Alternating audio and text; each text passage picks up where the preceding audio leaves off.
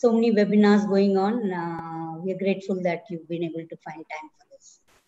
So given the topic, I will focus more around the personal data protection bill and how it impacts cloud and telecom service providers.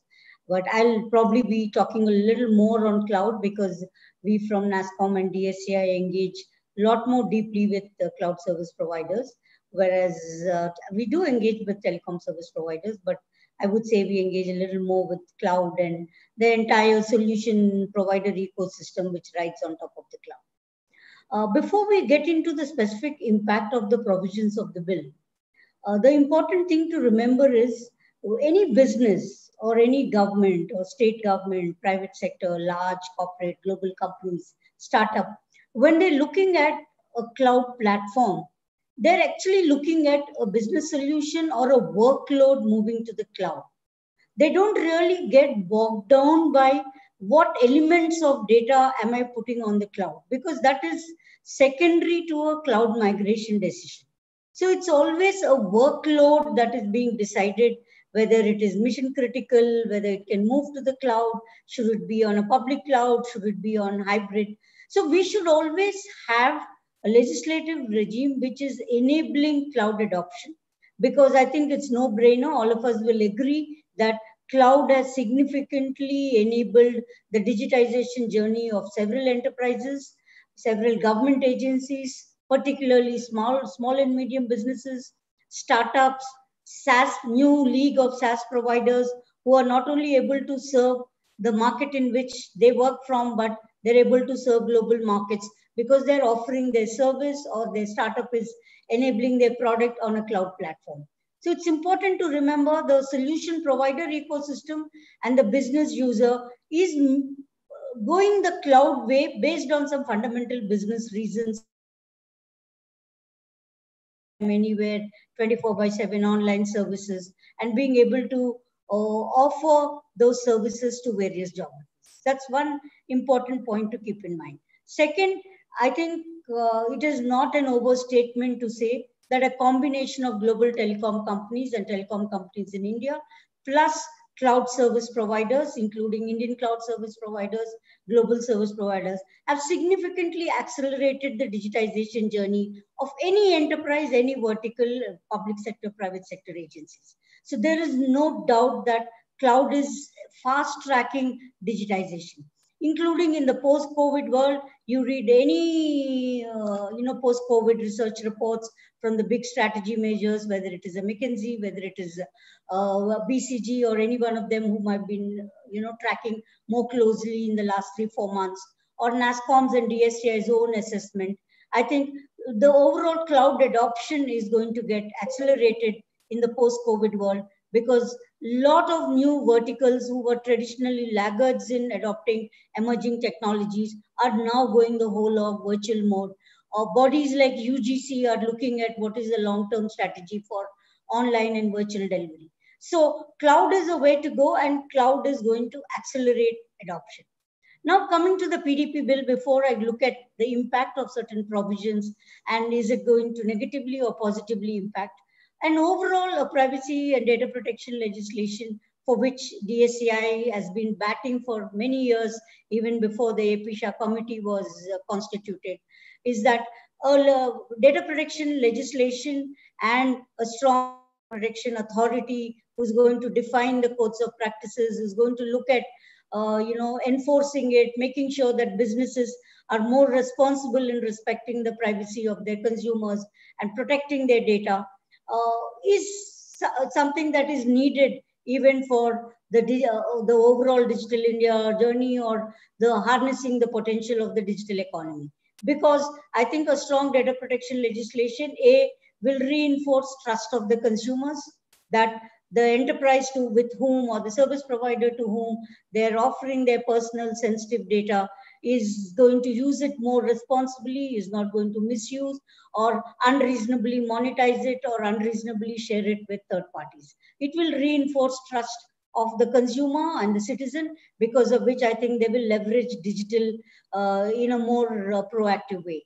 Similarly, it will also ensure that businesses are investing making the right investments, right from a management perspective and uh, technology stack perspective in enforcing security, data protection, and privacy, so that uh, once there is a legislation and there is a, a strong regulator, compliance always drives a certain enterprise business behavior.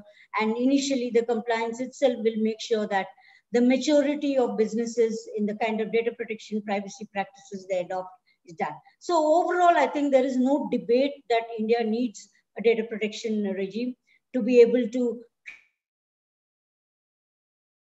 making sure that businesses move up the maturity curve in their data protection and privacy practices. Now coming to the uh, specific uh, provisions of the bill and our assessment of how it's going to impact.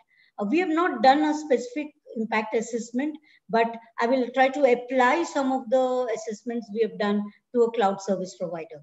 I think the overall uh, having an independent data protection authority, uh, codes of practice, all and privacy by design principles, I think are very reassuring provisions.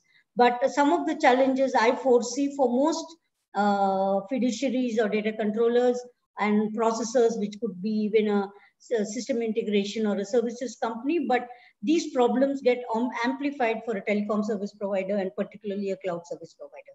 And here I think the problem is not whether you're an Indian cloud service provider or global. I think these problems are universal. First, anybody who's betting them, themselves on migrating to the cloud, and if I am a cloud service provider, if my company is a cloud service provider, we uh, they will we will expect uh, some kind of predictability and regulation, uh, the, the entire regulatory regime, what is, it's predictable because you have to make those decisions when you make those investments.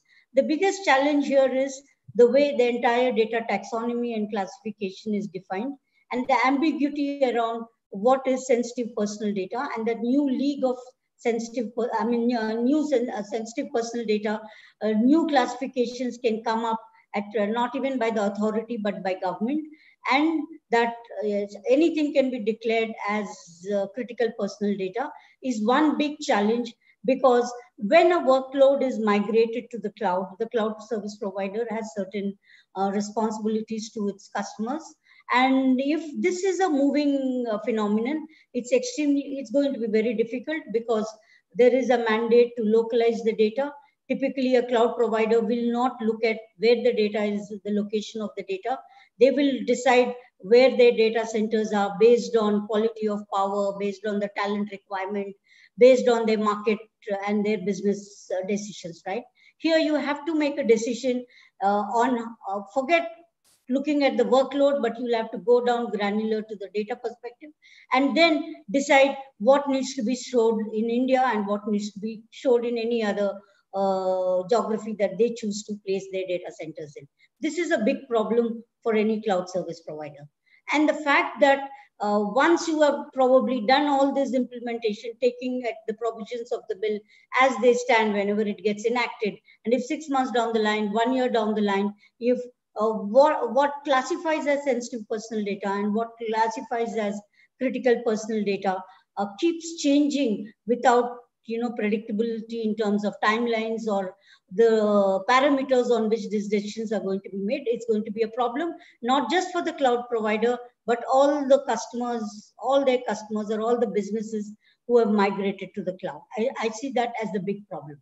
The second uh, problem is the broad classification of what is sensitive personal data, including the entire health and financial stack, will significantly impact cloud adoption by the health sector and financial sector. Uh, already, we believe that while there was a very good uptake of uh, cloud uh, momentum or adoption momentum in India, several businesses moving to the cloud uh, across verticals, uh, some regulations from regulators like RBI have already put a halt on uh, cloud RFPs uh, decisions to look at some workloads moving to the cloud, even in the banking sector.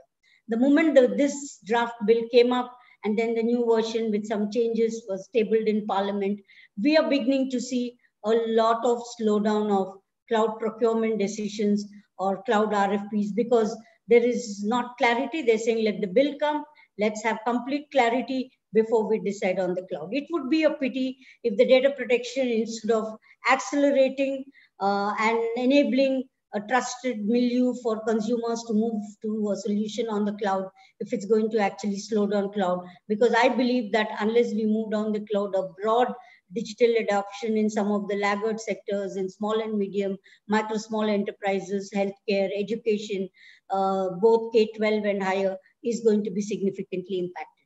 The second big problem I see is uh, which it's not, uh, to be honest, it's not just the cloud service providers. Even when we talk to our classic services companies, whether it's Infosys, Wipro, TCS, or co-constituents of NASSCOM membership, uh, uh, the lack of clear carving out of data controller and the data processor and differentiating the obligations of the controller and the processor uh, is going to be uh, a big challenge uh, there would be worries in taking contracts from customers because I think any provider, provider, all the more because at any point of time they are uh, servicing hundreds of customers and also broadly the service provider, uh, the IT services provider ecosystem, unless the data controller and the processor obligations and roles and it's uh, ring fenced and earmarked there is going to be a big problem because there could be a tendency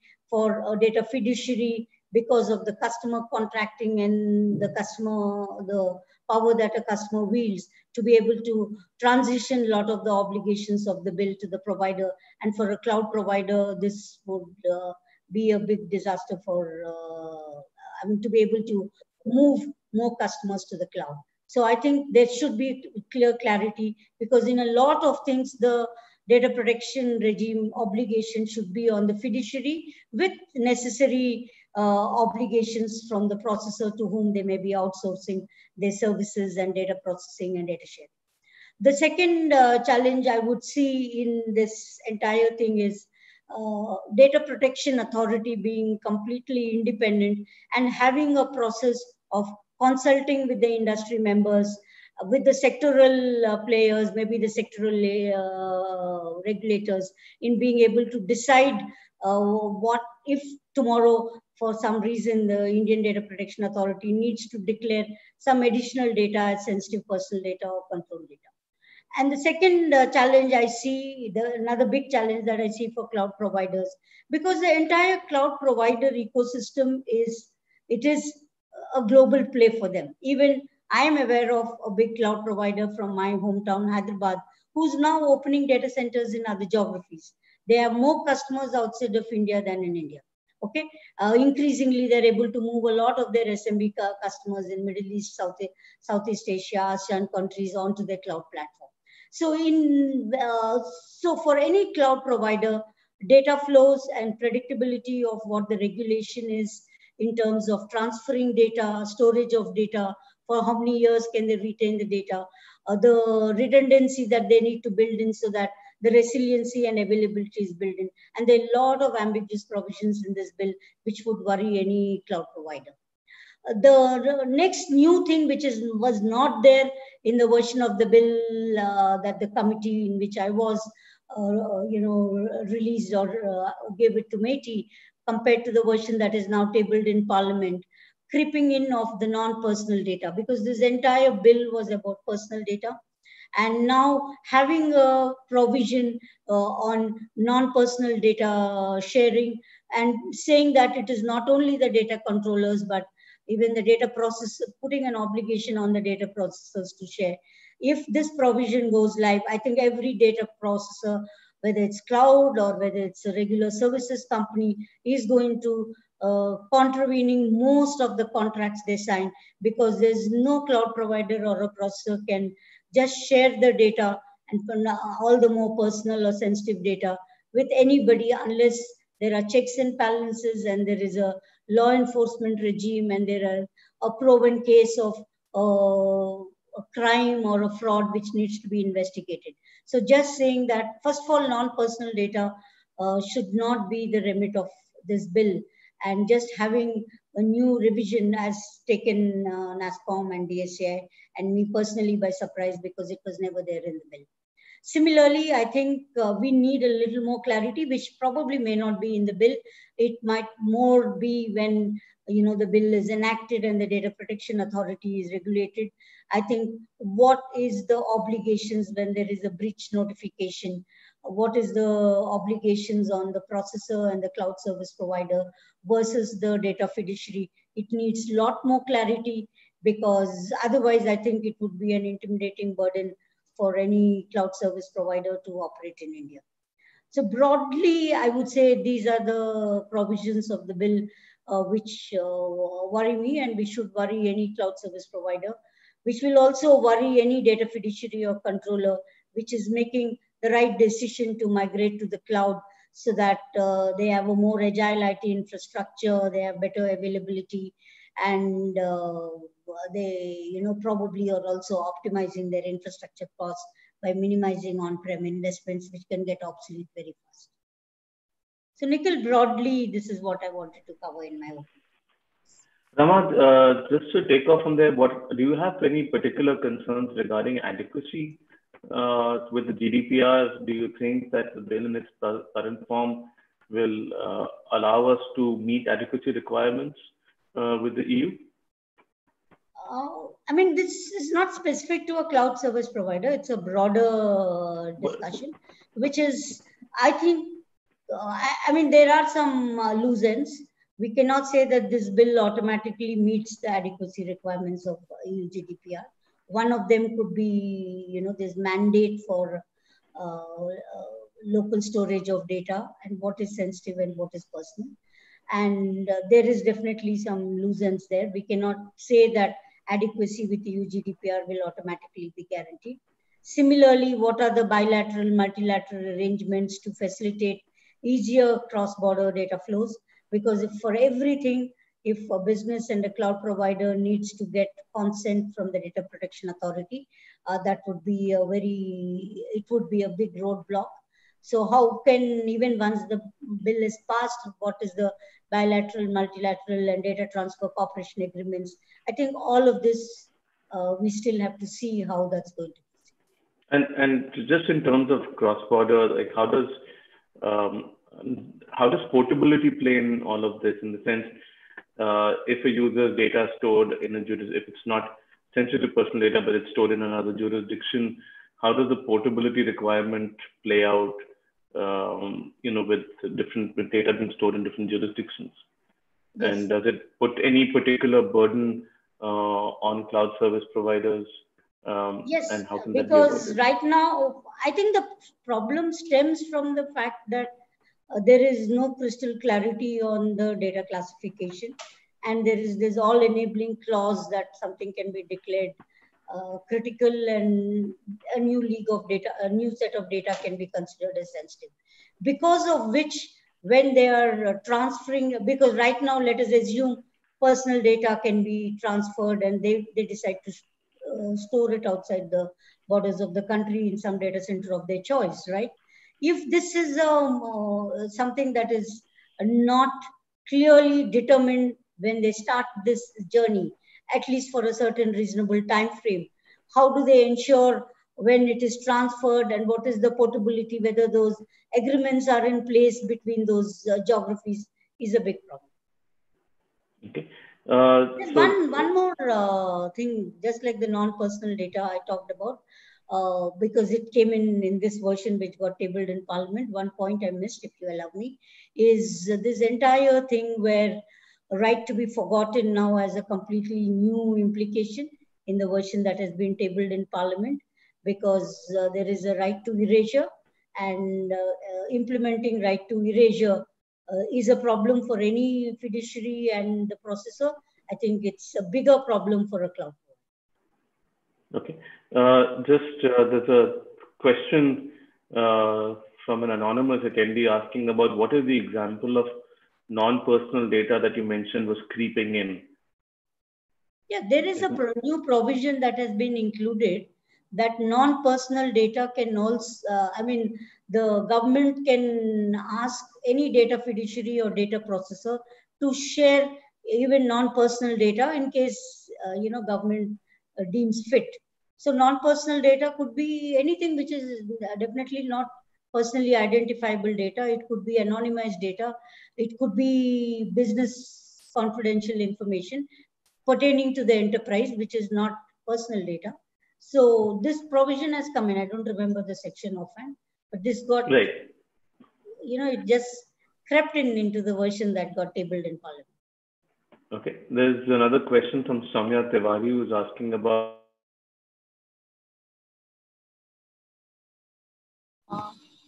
I think we have lost Nikhil for a second there.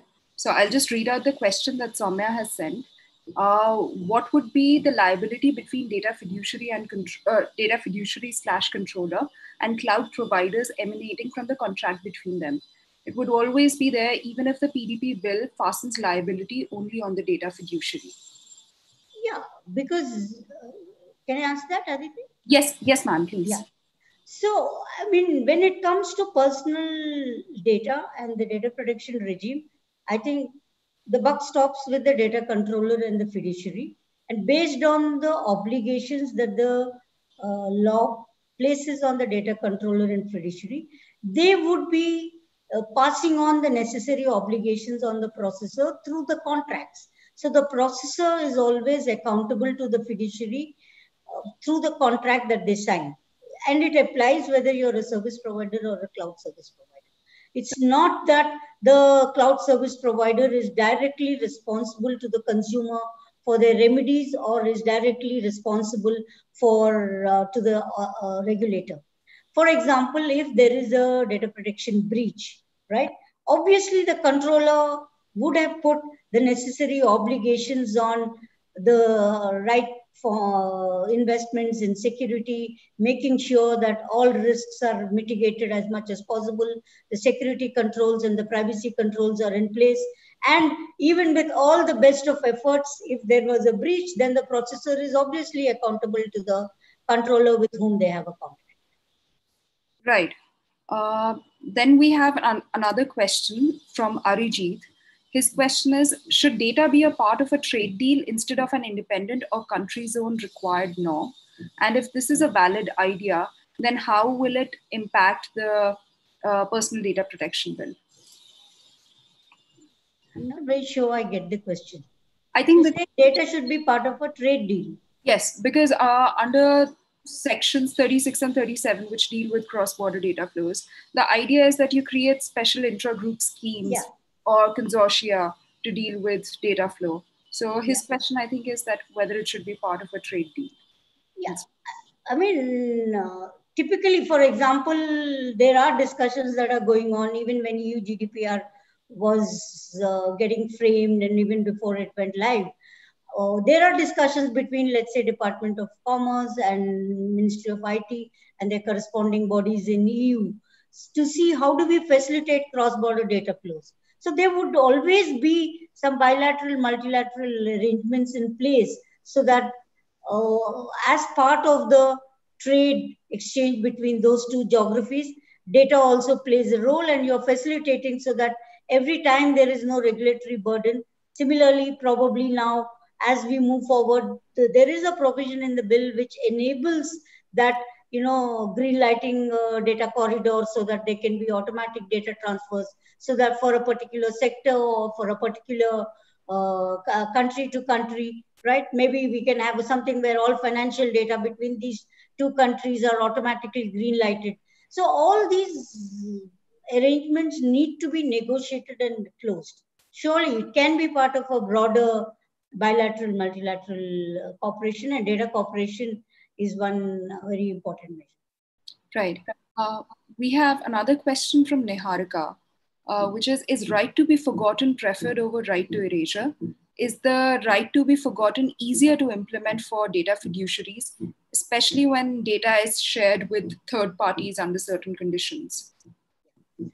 So, first of all, when we did a survey of uh, our members, when you, I think on the first year of EU GDPR, right to be forgotten was called out as the most difficult to implement. I'm not even going to right to erasure right to be forgotten itself was declared was you know uh, shared to us as one of the most difficult to implement both for the processor and the controller. The right to delay, typically when you say right to be forgotten, it is almost involves that you don't do further processing of that data, right? And that is the obligation that you have to your consumer.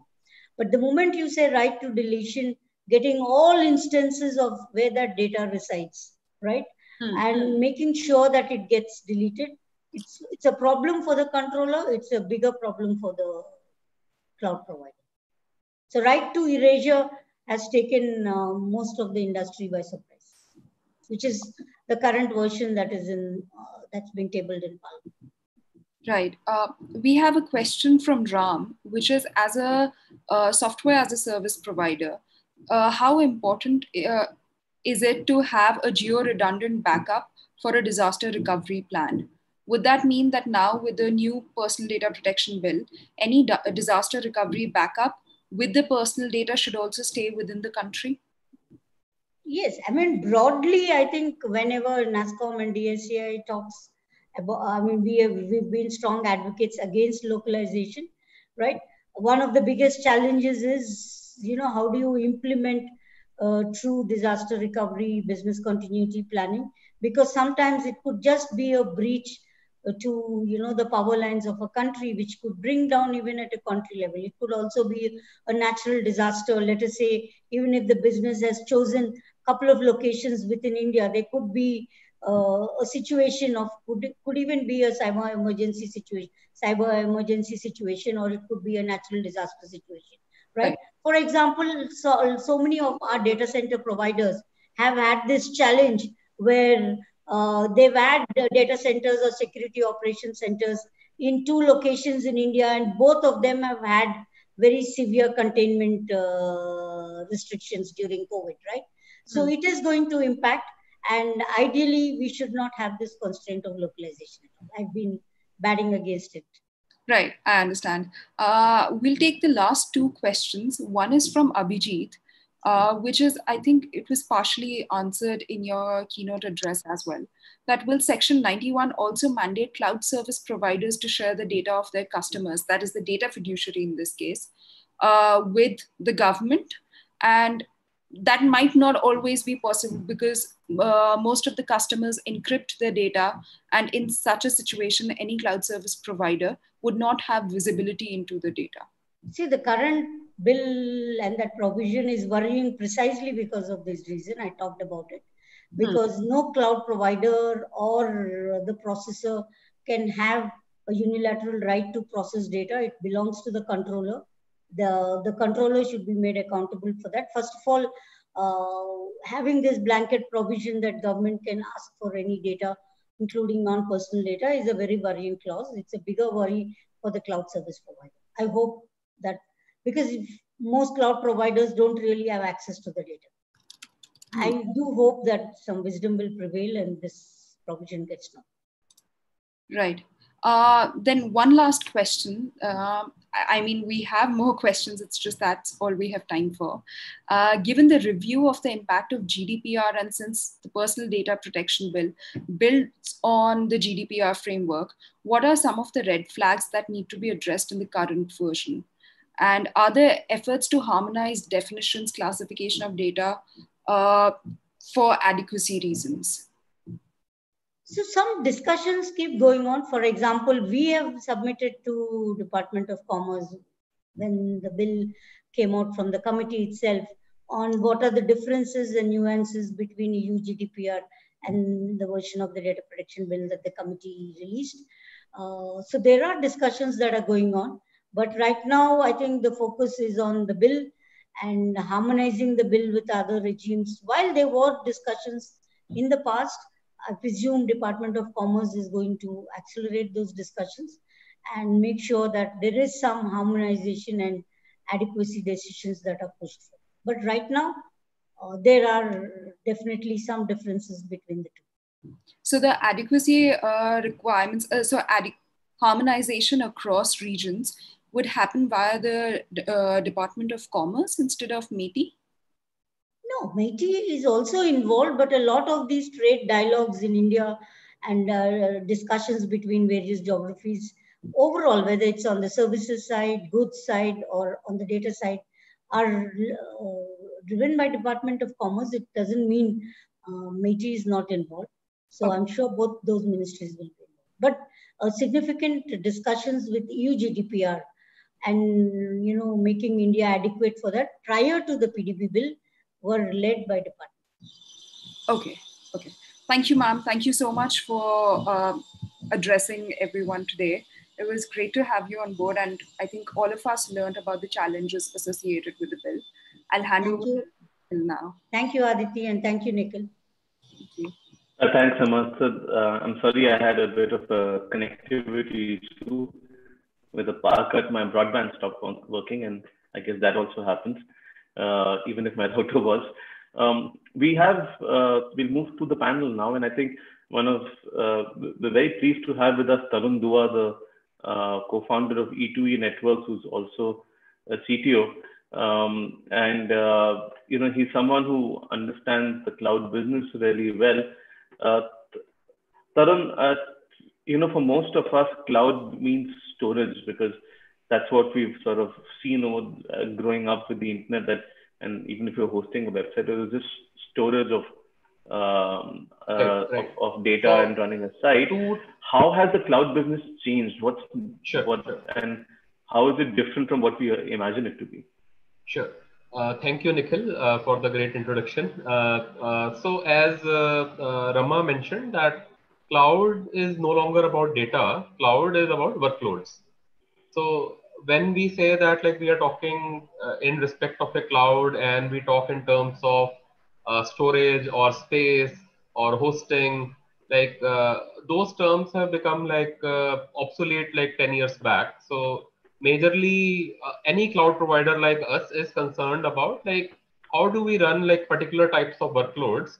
Uh, we do not have access to customer data like it may be uh, technically possible to access like unencrypted data, but typically like customers would ideally store any kind of like uh, sensitive data encrypted. So uh, typically a cloud provider cannot have access to the data. Now, uh, so my definition of like what a cloud provider is actually doing with uh, over here is that like we are not only uh, storing the data which is incidental to the whole cloud business that data has to be stored if it has to be processed because like data processing is happening on the cloud but how exactly is the data processing happening? So typically usually the customer is going to bring in uh, his own code base or some licensed code base some licensed software or the software built by themselves uh, which is completely arbitrary uh, as far as a cloud operator is concerned, we don't know what sort of programming is there to process the data. And those programs are being run by the data fiduciaries uh, on the processing power that we have provided. Now, uh, hmm. an example would be like you have your laptop, right? So you bought your laptop from say Dell or HP or whoever. Now, Dell or HP has no control over like what sort of data, whether it is uh, labeled as personal data, whether it is labeled as sensitive data, to be brought onto that laptop and being processed over there by using software from any of the millions of uh, software providers or millions of open source software being available. So essentially like, like uh, what a cloud is doing is providing a computing environment. We hmm. have absolutely no control over like what data is wrong, being brought in, we have absolutely no control over what software is being run apart from the fact that like we uh, would facilitate our customers to be able to use the common uh, commercially acceptable open source software like whether it is CentOS or Ubuntu uh, or Debian kind of distributions of Linux, which are primarily used for processing, uh, running any kind of like compute environments. So like when you look at that, and when you look at like data processor being mentioned at multiple places in the bill, along with the fact that like uh, uh, any of the uh, offenses under these uh, this act are like uh, non-bailable offenses, and mm. your entire company is liable and responsible for this.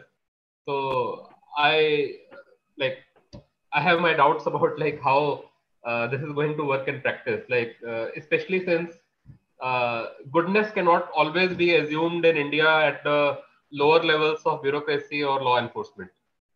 So I, I would be very very worried over there. So like, uh, so course, just so so you are also providing. So you're basically providing processing infrastructure, but you're not necessarily a processor. Is that what you think? Is that what you believe? Like, uh, so by definition, we are a processor because we do storage. Uh, right. Like we store the and, data, and we and, are actually and running you a storage. Tarun, do you think storage should be a part of the definition? Uh, I don't know how uh, else. Like, uh, uh, see, for example, you are like a CRM provider, right? Hmm. Now you are actually running your own code base, and you are also storing the data so essentially storage has to be an essential part of like the definition. But I think the differentiating factor for differentiating a cloud service provider has to be that uh, there is an ability to run uh, completely uh, arbitrary code or software uh, on the computing environment that allows for very arbitrary processing of the data and manipulation of the storage. Now, this is what cloud computing providers allow. Hmm. So that's what differentiates a cloud computing provider from like a data fiduciary. Okay, so I think this is a great segue to bring Shweta in. Shweta, uh, if you could put your uh, hi, hi Shweta. Hi, so, hi. Uh, uh, so Shweta, uh, I mean, Salesforce via its uh, CRM products also processes a lot of personal data. So, uh, what sort of uh, impact does the PDP bill have um, have on the business? And uh, do you see yourself as a processor? Absolutely. Salesforce, as uh, one of the largest cloud companies in the world, is a data processor, and that's how we would classify ourselves. And uh, it's true, as a company that really thrives on, on innovation, Nikhil, it's very important for us to also work with governments closely to ensure that regulations that are being brought in are not just robust in terms of enhancing user uh, privacy and security, because that remains key to our business when, when we're working with customers and we put trust as our number one value, but also those are regulations that are not in any way hampering uh, the overall economic growth. And I think uh, it's very important that we bring in a post COVID scenario when we talk about what's really going on, because economic recovery recovery has become very, very important for countries and for companies. And this is the time when companies and countries would like to use the efficiencies that the cloud system brings with it. So there is a there is a certain amount of efficiency that is brought in by the cloud ecosystem, which can be now harnessed at this point in time to ensure that we allow companies to recover faster and countries are also put on a high growth path. So, what we're seeing right now is that uh, we strongly believe that in the current context, there is a need to reevaluate the current uh, personal data protection bill to make sure that we're not bringing in mandates, you know, whether it's a data localization mandate or any other mandate that in any way hampers hampers economic growth or stifles innovation because technology has been put right in the center in this in this uh, post in the current covid era. And it'll it's in fact mm. a conversation that every government is having right now digital transformation how will technology help us emerge out of it? And i'll quickly cite one report of the asia um, cloud computing association ACCA that actually ranks countries in apac because there's a lot of conversation around which country will benefit how will you recover out of the crisis?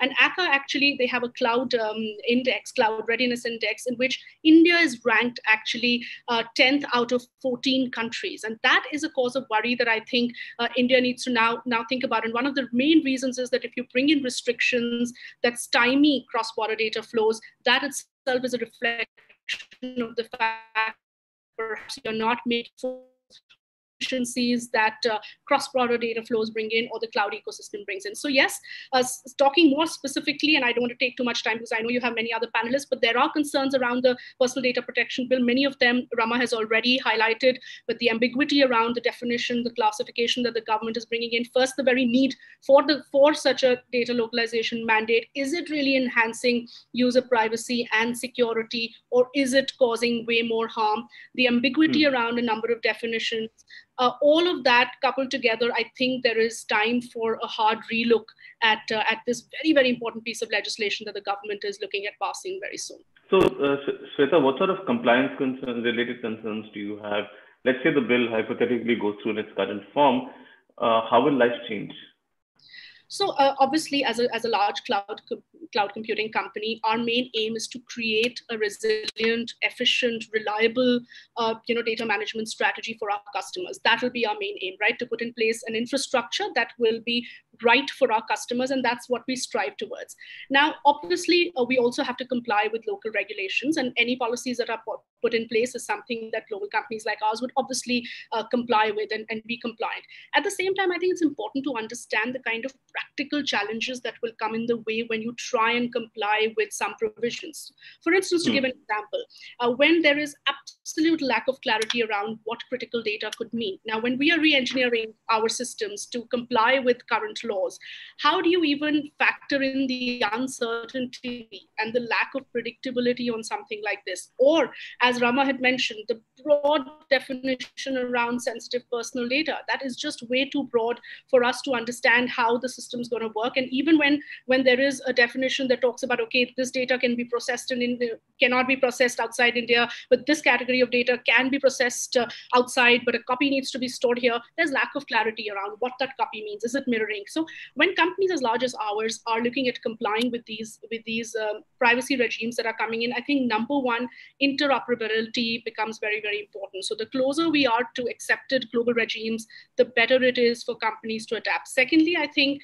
timelines become critical. So while we will all work towards compliance, it's very, very important that we have clarity and at least that two-year window uh, that GDPR had provided uh, for compliance to come through because otherwise we're really going to be in, in a place where where we feel we'll rush through compliance and there will be challenges that will come on. I can go on and on nikhil but there are practical challenges and like i would like to highlight uh, whether it is around consent whether it is around uh, you know number of other provisions. But if i would sum it up in a broad way um, predictability mm. and clarity right from the start is important not wait for the rules to be notified. So you would like critical personal data for example to be defined from the get-go absolutely absolutely. Because then we know what we're dealing with. Otherwise uh, you know just the just the entire uh, anxiety around the fact that there could be there could be additions and deletions there could be changes makes it very hard for companies that are putting in place large infrastructure plans and and working towards compliance of uh, of uh, large you know privacy legislations to work with. So we would want very very like we want no room for changes and uh, you know we want complete predictability coming in and more clarity when we talk about those classifications of definitions on, on, on what the government really means when it says storage, when it says processing. I think that kind of thing, uh, if we believe that the parliamentary committee that's looking into the bill um, understands, and we've obviously been engaging very actively, and, and we've helped them understand why this is very important for companies like ours to have clarity right up front. I'm going to go back to Tarun with this one. Tarun, how easy is it or how complicated is it to re-engineer databases to mark specific types of data as different types of data? And, you know, what is, uh, what role do cloud service providers play there? As someone uh, who primarily operates in the MSME space, uh, I, I would like to point out this fact that like uh, the per capita income of uh, European Union, which has GDPR like regulation, and India is very, very different. The kind of technical skills that uh, businesses would be able to afford in the US or the Europe would be very, very different from the kind of technical talent that uh, is accessible to the Indian businesses. So, like, uh, uh, just as an example, we are talking about like re-architecting the databases to be able to uh, classify and then potentially erase or forget data for small Indian customers, but uh, right now uh, the very same Indian customers, like numbering like 62 million SME enterprises in India, like do we really think that they have access to uh, that kind of uh, programming talent or database management talent today, uh, like we would completely become dependent on large multinational companies to be able to only do this for us. Like, so any complicated regulation goes to the advantage of large multinational companies as opposed to uh, helping the small SME in India. So over here, I would feel that like uh, uh, onerous requirements, which are like a moving target, would be to hmm. the determinant of the small MSME in India. So, so do you think that uh, this technically yes, it's possible to do everything that the government is saying in its bill. Like everything hmm. is technically possible. Data replication is technically possible. Data deletion is technically possible, not advisable. Uh, data forgetting technically possible. Uh, again, like better than data erasure, but uh, uh, uh, kind of like data forgetting is like still like problematic. Like from the so of course the exceptions has been made, but where do those exceptions end and like where do they so for example, like GDPR says that like you can keep reasonable amount of data even after being asked for uh, to forget about that data. Now what is reasonable for us? It could be that like look uh, you came in and launched certain machines uh, from a control panel. Uh, for me it's a reasonable data that needs to be stored.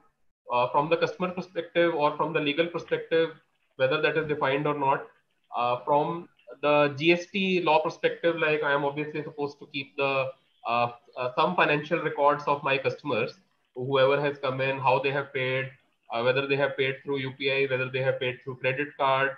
Uh, so there is a lot of data that uh, a provider could feel or a data fiduciary could feel is that is critical for the uh, sanctity of their database for being able to, uh, especially audit logs, etc., to be able to backtrack what a customer did, uh, how did they interact with the systems. from the customer perspective, like they might want like all of those interactions to go away. Hmm. so they might want like that. So uh, let's take the example of a, uh, a terrorist. Like uh, someone searches on uh, a search engine that how to make a bomb or how to make a nuclear bomb. Now uh, what is the search engine supposed to do in this case? Like so right to forget says that like whatever a person has searched needs to be deleted from a law enforcement perspective uh, this might be something that uh, that particular search provider needs to store forever.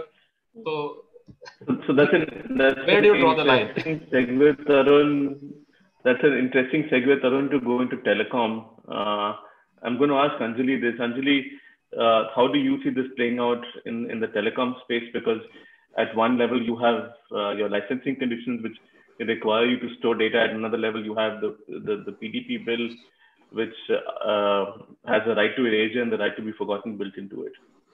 So thanks, Nikhil. Um, I think I'm coming from, it's like uh, relative perspectives. So I am coming from a heavily regulated regime. So for me, when I'm looking at the data protection bill, I am also looking for harmonization, harmonization within sectors. And I'm also looking for a certain amount of a practical and balanced approach. The telecom sector is very heavily regulated. We are told exactly what we have to store, how much we have to store, for how long we have to store.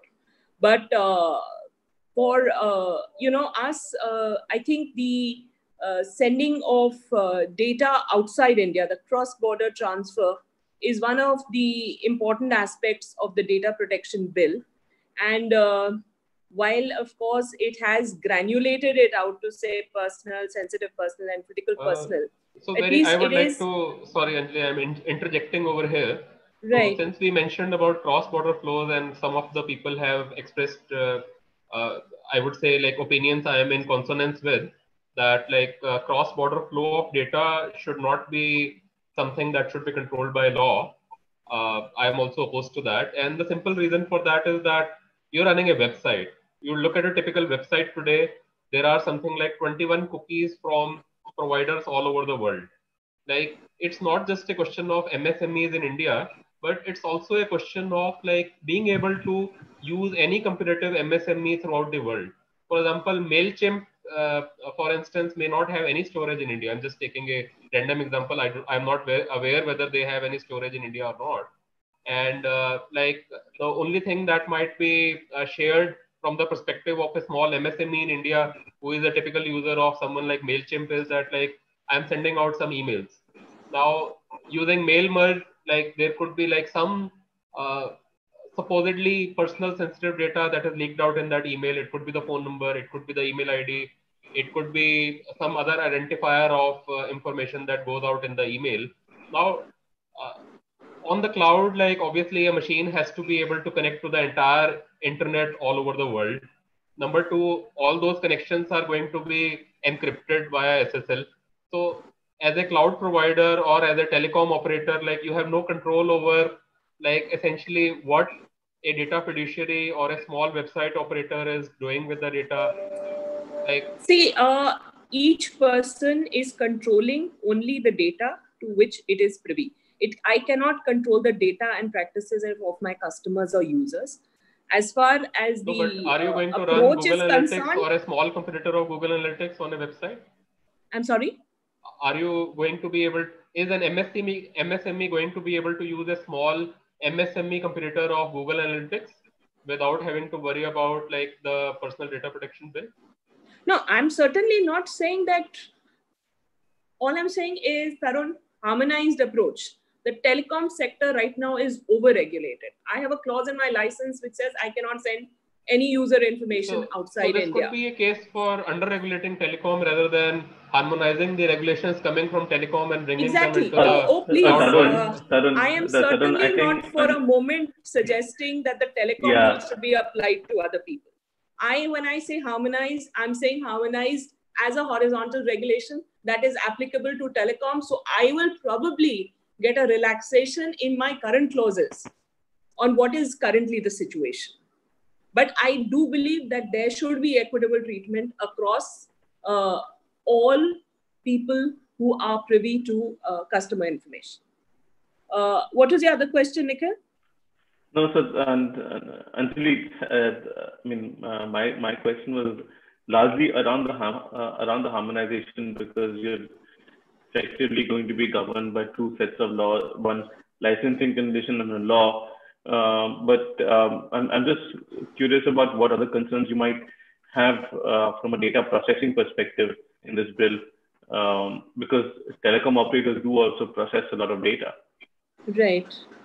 Uh, so data processing, I mean, we're basically data controllers of our subscribers. Uh, Hmm. And we are con- processing the very data that we control, or otherwise we are engaging processors. So for example, we could have entities that are carrying out uh, billing for us. So potentially, uh, you know, this talk about mixed data sets. So I was just thinking about how it could impact us is, for example, my postpaid customer has given his bank account details, you know, for a standing instruction and uh, for the amount to be debited every month. So if financial information is considered as sensitive personal data, then that one item in itself will prevent me from getting maybe my processing done at a country of my choice. So there are issues. My basic approach to this would be that I know uh, Shweta said I would like to know everything upfront. I think clarity is wonderful, but it should be considered clarity. You know, like what I would ideally like is that each one of these things that they are planning to put into personal data, sensitive personal, critical personal, should be subjected to a consultation process. People should be aware of the implications and impact of classifying a data under a particular field, you know. And sometimes it is only once those come up and the relevant stakeholders respond that you actually realize that it could be a impractical approach. And therefore, uh, the concept of proportionateness also needs to come in. Why is it sensitive? Why is it critical? That, that needs to be defined. That on what basis? So maybe some principles could come into the bill, but to say this data is critical, this is sensitive, it's like then you're not giving these stakeholders an opportunity to even respond. Uh, So, the uh, another point that I'd like to make, Let me just complete one more point, is that this should apply going forward. It should not be like I'm supposed to fix past data. It has to be applied the moment it comes in. Time needs to be given to bring it into play. So I think it was earlier two years was given. Uh, that amount of time is required to implement the bill. And during this period, maybe I think you know we need to adopt a graded approach, even including on penalties. You know, to say straight away, this is the law, implement it. Otherwise, you're going to get penalized. It, it's like a really hard-handed thing, especially for a lot of things where we still don't know how we're going to deal with it. Understood. Sorry, uh, I, I, just wanted to uh, check whether there are any particular concerns, uh, additional concerns that you might have. I lost my my, my train of thought actually. Like, um, Aditi, do you, do you want to jump in while I think about what I was going to ask, Anjali? Uh, yes, sure. Actually, uh, my question was for Venkatesh that what's the impact? Uh, there has been a lot of discussion about data fiduciaries, data processors. How do we classify cloud service providers? So now, as Tarun also, uh, Tarun also pointed out, the functions of cloud service providers are changing. So what kind of impact does it have on uh, cloud service providers as processors or data fiduciaries? Venkatesh, if you can. Yeah. Uh, so thanks, uh, thanks first of all, uh, Nikhil, for putting this, MediaNama team for putting this together. Uh, am I coming through loud and clear? Aditi, can you hear me? Loud and clear. Yeah, perfect. So thank you. I mean, uh, great to be doing this amidst all that's happening around us. So, so just to jump into the question that that you answered. So, a couple of points. One, I think uh, on the distinction between data process and controllers. I mean, just to reiterate.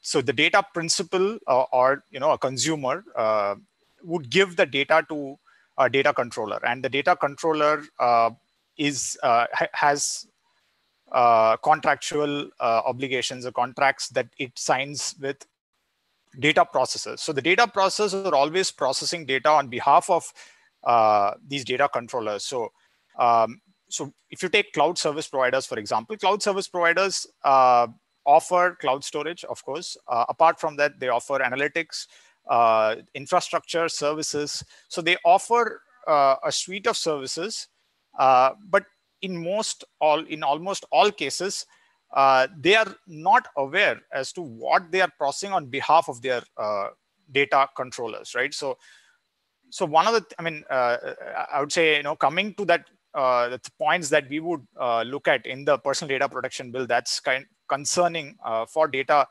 processors so there are three, uh, I mean, just quick, I mean, I'll mention three areas for this conversation and we can take it up in the discussion. So number one is engagement of sub-processors. So right now the data processors cannot, um, I mean, data processors are not to engage sub-processors except with the authorization of the data fiduciary. I mean, uh, so the controller, the fiduciary has to give uh, specific permission, uh, express permission to uh, allow that to happen. So we would want to make sure that uh, the this particular provision, which is I think 37.3, uh, uh, that you know uh, that can be uh, a, me a, mechanism by which data process get say advanced clearance uh, and notify the data fiduciary uh, when they are doing sub processing. So that's number one. Number two is liability. data fiduciary. I mean, the bill sort of muddles uh, the the. I mean, it had a great opportunity to separate, like you know, the responsibility, the liability of DF and DPs. Uh, mm. But the bill muddles the water, right? So we would also recommend that it uh, removes the reference of imposing liability on uh, the data processors uh, for negligence. You know that particular uh, uh, the reason why I say that is there is uh, the this has to be governed by the contract between the data process and the controllers, right? So, for example, I mean, I just take an example. I mean, this is something we discussed. So, uh, I am a particular startup uh, and I provide, say, food delivery uh, opportunities. I contract a service provider for my cloud hosting and also analytics, all of that. Um, I mean, if there is a data breach that happens at uh, either of those cases, uh, there is a chain that is established, right? So what ideally would happen in this case is the data processor immediately gets back to the data controller, uh, the startup in this case, and, and informs that, hey, you know, this has happened. Uh, how do we, you know, uh, how do you want to proceed? And so then everyone will refer to the contract and then move from there. Uh, the last thing you want is as a data controller to be the last person to know what's happening. So, you know, this is how the mechanism works out. And of course, in the current bill, it is mandated that the data fiduciary and the data processor also can pay damages to the data principal. So what we would recommend is that the data fiduciary alone be responsible for uh, any compensation that needs to be provided to consumers uh, and the contractual obligation between the data processors and the data fiduciary be uh, uh decided mutually amongst themselves to discuss what uh, should be uh, compensate what is the compensation that the data processors need to pay in this regard so uh, if you see, I mean, the, there are these are a couple of instances, and the last case I would mention is the security safeguards part, um, uh, where the bill mandates both the DPs and DFs to undertake implementa- implementation and review of security safeguards. So in this case, I'd say, I mean, just to complete that thread is uh, while both of them will uh, follow all the security safeguards. Now, again, in, in, this case, the data processor sometimes might not be aware what data they are handling. Uh, so then they cannot give appropriate amount of safeguards. So even in that case, I think uh, we have other mechanisms. I mean, this was proposed in uh, in one of the public consultation meetings of Justice Srikrishna as well, is how to use the data protection impact assessment uh, techniques and uh, what kind of agreements, uh, what kind of certification mechanisms we can have, and data process can obviously, uh, you know, voluntarily sign up for some of that. So I'd right. say just to complete the remarks that we should be in the position to be encouraging more of data processing as well. Uh, and, you know, um, given that investments in that uh, sector of companies would benefit sort of a wider population, small businesses, bigger businesses, whichever way, right? You know, you can make your own app for your own store, which what you want to do.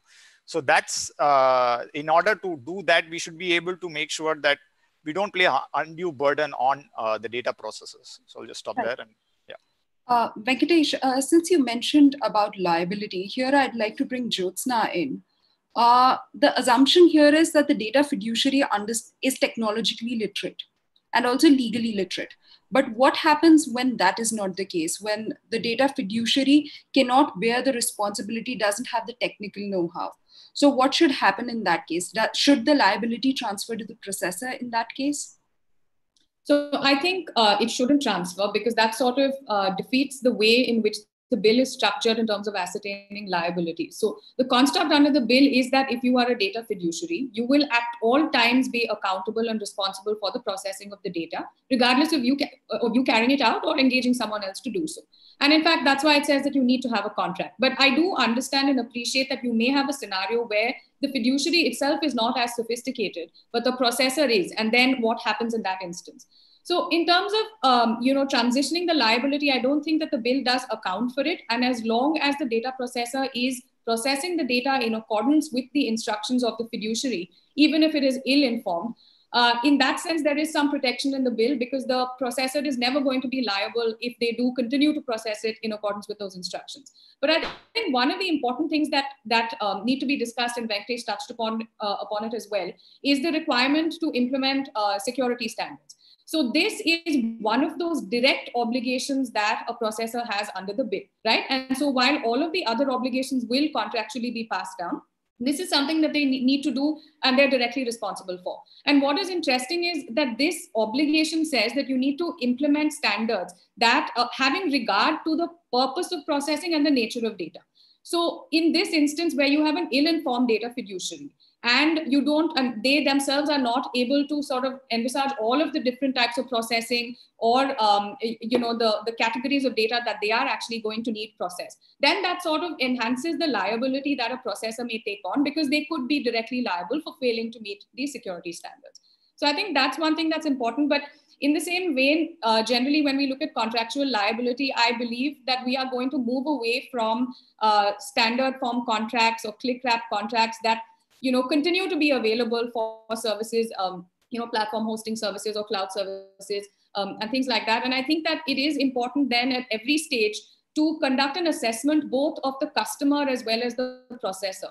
Uh, so while a, it's very imperative for a customer to sort of conduct an assessment on the processor to see whether they will be able to have the adequate technological safeguards and understand the means of processing. I think in this case, given that a processor takes on liability directly in the instance that we discussed and also contractually because the data fiduciary will pass on all those obligations is to also conduct that sort, sort of a counter assessment of your customer.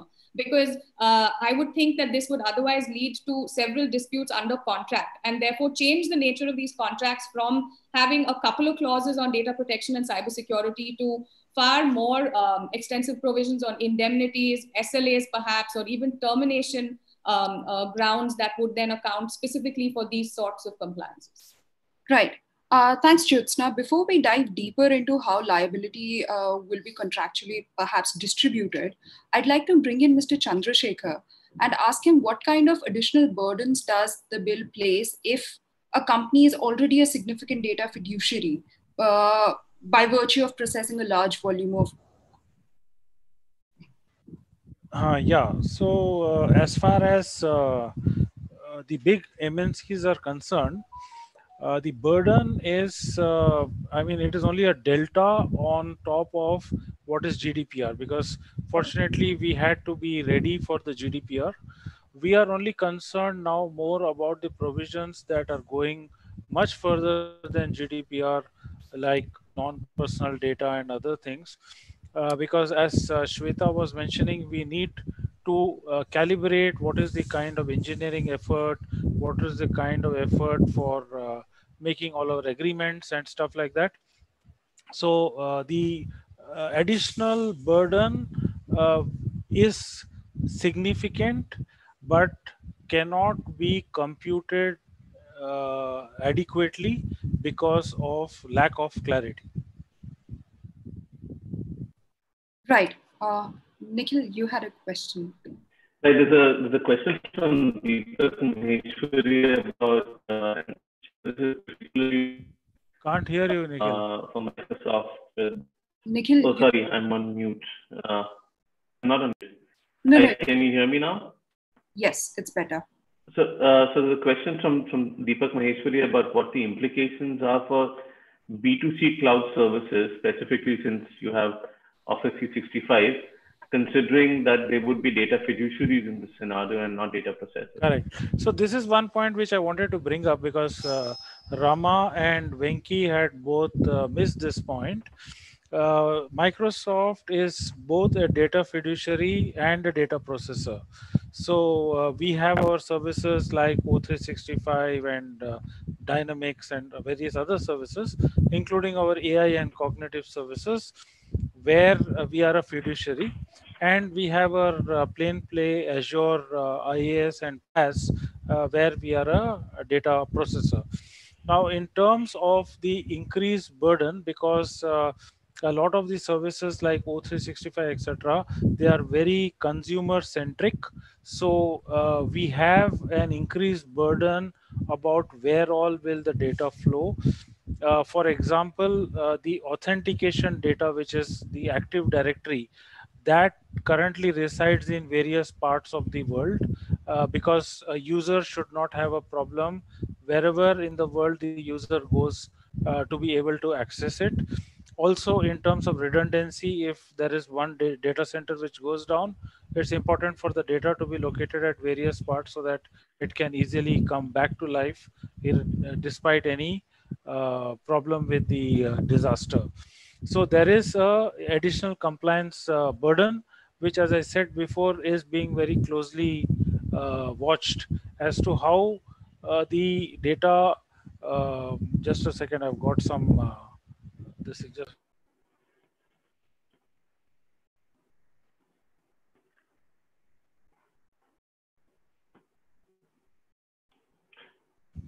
Uh, I'm sorry, somebody was keeping on ringing the bell, so I was getting distracted. So we have not been able to exactly compute the uh, extra effort uh, required because of the gaps in the uh, thing, but there will definitely be some additional effort required. Right. Uh, so, so you raised some important points about how an entity by itself can be both a fiduciary and a processor. Here, I'll, I'd like to bring Nikhil in, uh, Nikhil Narendran, that is, where cloud computing is computing as a service and uh, as well as processing as a service. So there's two aspects to it. So is there a chance of thinking of a cloud service provider in particular as perhaps a co-fiduciary? Because at times the processing might be determined by the cloud service provider. Yeah, you're right. So I think uh, that's probably one uh, one area where I'll probably differ from most of the other panelists. Uh, because I think most of the current uh, cloud models, I mean, if they're infrastructure-based services, pure hosting, pure storage, etc., then there is no question of even an argument coming up that a cloud service provider could be considered as a fiduciary. But if you are moving to a realm where it's more of services that's being provided on cloud, or if you're moving to services where the data fiduciary itself do not have much control over the actual processor processing that happens of the data, right?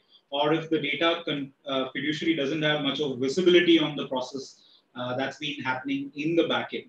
There is a gray area which exists, and that's where I think the bill sort of uh, lacks the clarity.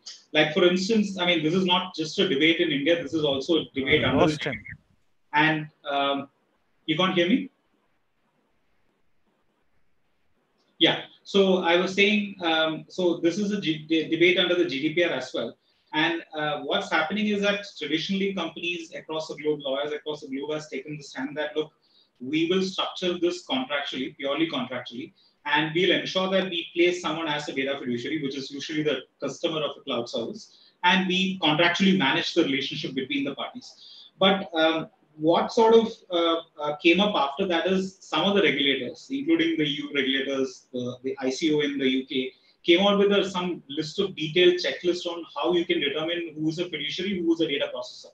And in some instances, you can see that there is some level of control, which is uh, actually being done by the data processors, mostly cloud service providers who provide uh, a particular software as a service or a particular processing as a service. And often this question comes up as to should we take care of uh, these measures while we contact to ensure that we don't classify ourselves as a, con a controller in, under the GDPR. So I think we have uh, pretty much adopted the same definition uh, as GDPR to our uh, PDP bill as well, which means that we may also eventually see this problem happening. So this is mostly on the software as a services or processing as a service uh, services models. But eventually what we will see is the extension of the cloud to literally edge, right? The networks or the equipment sitting at the edge, which is collecting data, which is processing the data, then the transfer to uh, data over the cloud happens and processing happens. When the cloud really moves to the edge, we'll see this line even being blurred. So that level of clarity is not there in PDP bill. That's because it's, it sort of uh, heavily relies on the GDPR. And I think when we move on to these, these kind of new services, probably in a year or two, uh, we will see this problem uh, coming up more often. And we will see the line between processor and the fiduciary being blurred again. And the companies will have to take extra efforts and steps while contracting or while determining, you know, uh, the standards, the internal standards that they put in place to ensure that uh, they are safe. Otherwise, there is always a risk of them being classified as a fiduciary because of the fact that the actual data fiduciary, who is contractually liable to the customer, doesn't have necessarily control over uh, necessary controls over the processing of the data that happens at the processor's end. That is the cloud service provider's end. Right. Uh, uh, Jyotsna, I'll just come to you in one minute. Uh, Tarun, you posted a question in the chat. Do you want to raise that up? Yeah, so I think like uh, what Nikhil uh, Narendran pointed out was that like obviously the cloud is becoming more complicated so earlier the cloud was like purely being able to provide compute and storage. And now cloud also involves providing like a lot of uh, software services stacks. Now, since we are talking about like harmonization of uh, responsibilities, now suppose there is a customer, he has a choice of using a cloud service or he has a choice of using a uh, software uh, written by uh, like an ISV. So again, on the same compute. So would Nikhil suggest like a harmonization of the responsibilities there also? Uh, I don't. I don't think it's possible really to ensure a complete harmonization. I mean, especially if it's you're, you're talking about an ISV and are you talking so, about an? Let me give an example. So let's say there is relational database service and there is a database software produced by an ISV.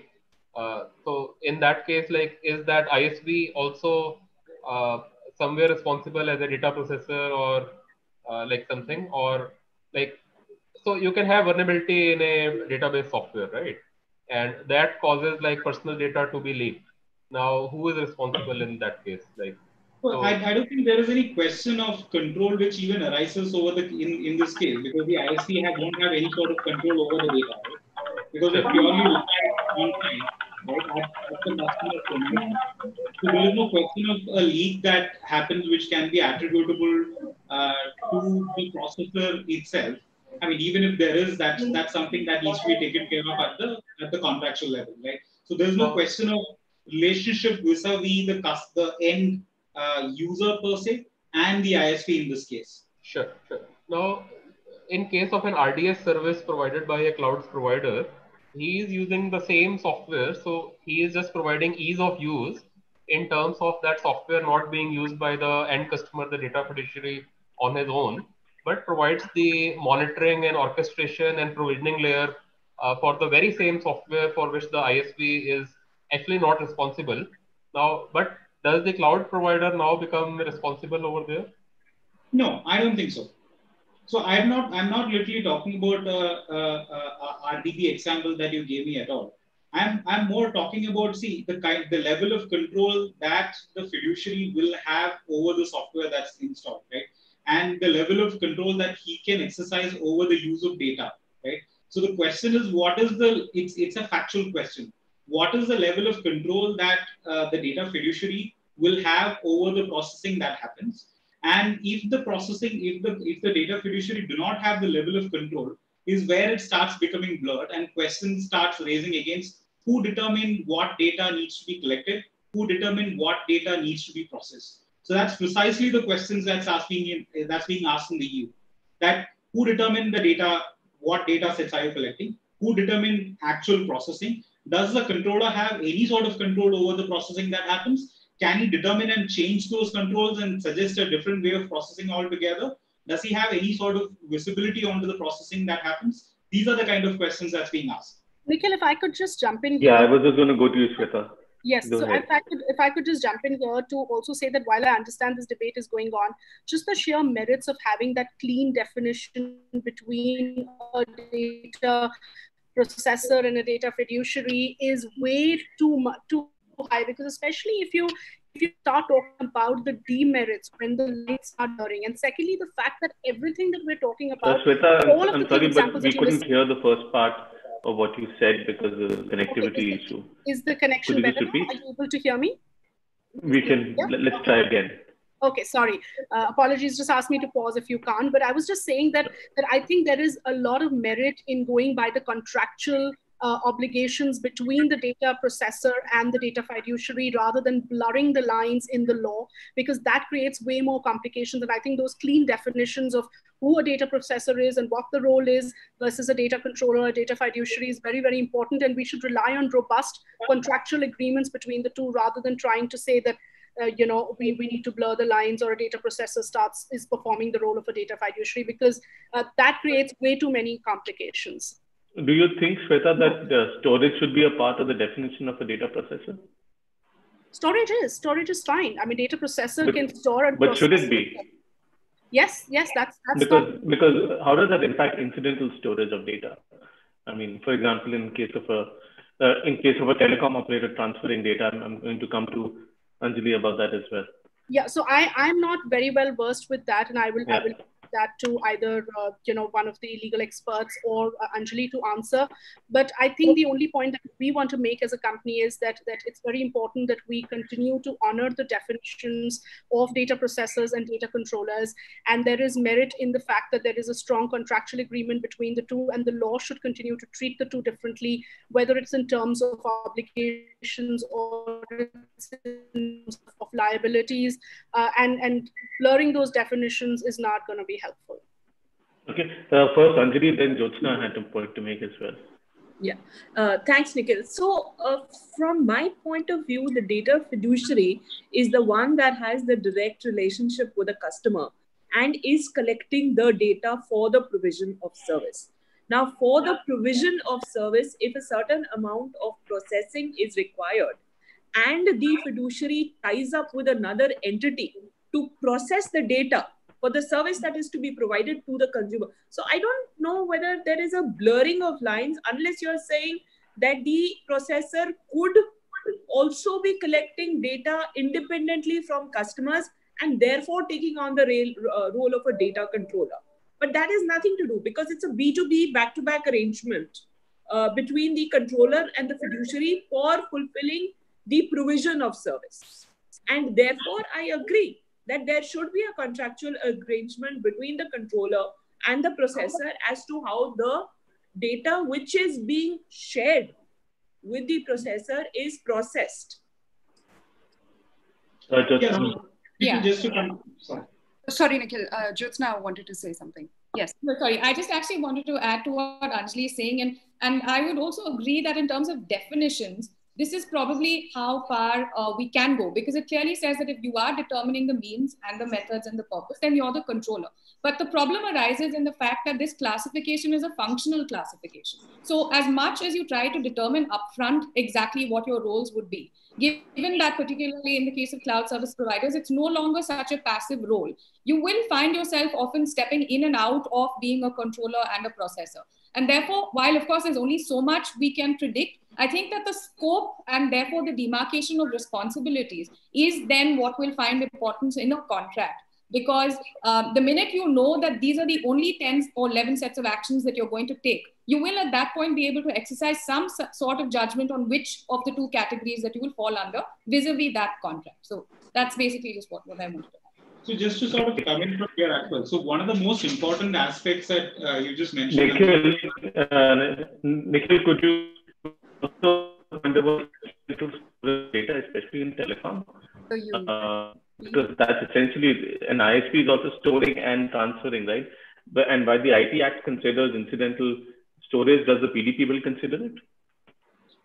Uh, so Nikhil, uh, so I'll just get to that. I just want to sort of add on to one thing that Anjali was saying. So um, it's precisely the relationship between the end data subject or the data principal and uh, the data fiduciary is, you know, it, it's who has a direct contractual relationship is actually a very determinant factor. But that is completely absent in the definition in both PDP bill and the GDPR, right?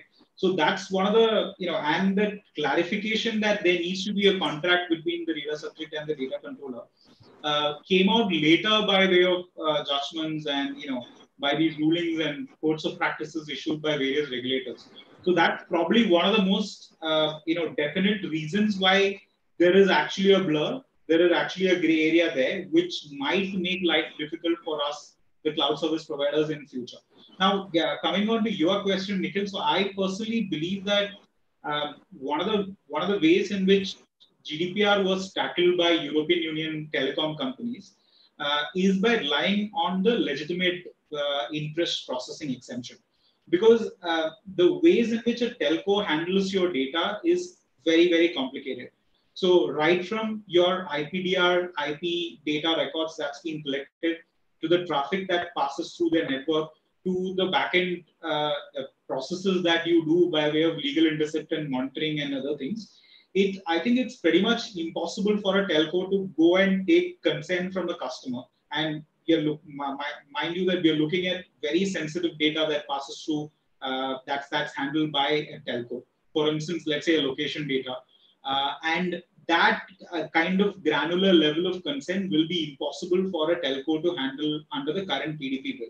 So that's where uh, the GDPR comes into play, and most uh, EU telcos treat the data that's collected from the customers under the bucket of legitimate interest processing and uh, do not take actual consent because the, the, the telco industry expects and the industry and the technology in the telco industry is designed in such a manner that they have to collect certain data to even transfer data from one point of time. And there are several regulatory obligations that's on the telcos. So I think that's going to be one pain point for under the PDP bill for the Indian telcos. I, would like to hear more from Anjali if, if uh, you have any thoughts on that. Uh, no, I don't think so. I mean, like in the sense, we get our customers to sign a CAF, a customer application form. And the data which is usually collected, it's the fields are mandated by the DOT, name, address, billing, preferences, MNP, telemarketing, etc., etc but insofar as the cdr records and that is the very i mean that is the fundamental of the service that is being provided so i do not need to ask my customers permission that can i create a cdr or in fact uh, the dot requires me that in the ip cdr or something location details are also being sought there is a format which is given so that's very clearly laid down as a regulatory and uh, licensing requirement I don't think it comes under a issue of consent in that sense. You know that will you allow me to create a CDR? Uh, the uh, all these data that are being collected will come under the ambit of what is called inferred data because that is by virtue of provision of the service. And therefore, the uh, ambit and scope of the data protection bill to include this data into that whole gamut of privacy, cannot share, erase, forget, that is where the problems will start coming. Uh, so, so again, think... I am fundamentally, I'm a great believer in that please discuss before putting in anything saying erase, forget. You need to know what the implications of these words are. Clarity yeah. is good, but that it should be considered clarity. I think. Yeah. so I think just just to sort of uh, respond to Anjali, so I think this is where uh, a precise problem is going to come because I, I don't think there is a specific exemption uh, for the kind of data that you just mentioned even uh, the kind of data that's required to be collected, the exemption is only for collecting personal data under a statute, right? So this is by way of extension, this is a statute, then there are licenses issued under the statute, right? So that itself could be debated when the PDP bill comes up, where uh, there is no standard exception under the PDP bill as, as of now for the processing of data by telcos. This is not just for telcos, this could also equally apply to banking and finance, right? Another sector where uh, similar kind of regulatory data collection happens and processing happens. Right? So, no, so are you are you suggesting that we won't be able to collect it, or we'll have to take that permission? Because this is not data which is collected; it's created by virtue exactly. of the service. So I exactly. can understand that treatment of the data could be a issue, but the the use of that data for the provision of service, I'm not able to understand the concern that you are indicating. Yeah, so I think uh, the similar sort of uh, uh, similar is the case with let's say uh, the behavioral data that's collected by a platform such as Facebook, right? For instance, um, I am browsing Facebook, I am zooming onto a photo, but the very fact that I'm zooming onto a photo will be collected by Facebook, and that's behavioral data. So I think it's similar to uh, the same kind of data. It's integral to providing the services that Facebook is providing. Similarly, any data that's collected by telco will also integral to the service that telco is providing. There is no dispute about that. But the question is, in the absence of a clarification or an extension under the bill, how will this data collection and processing be treated?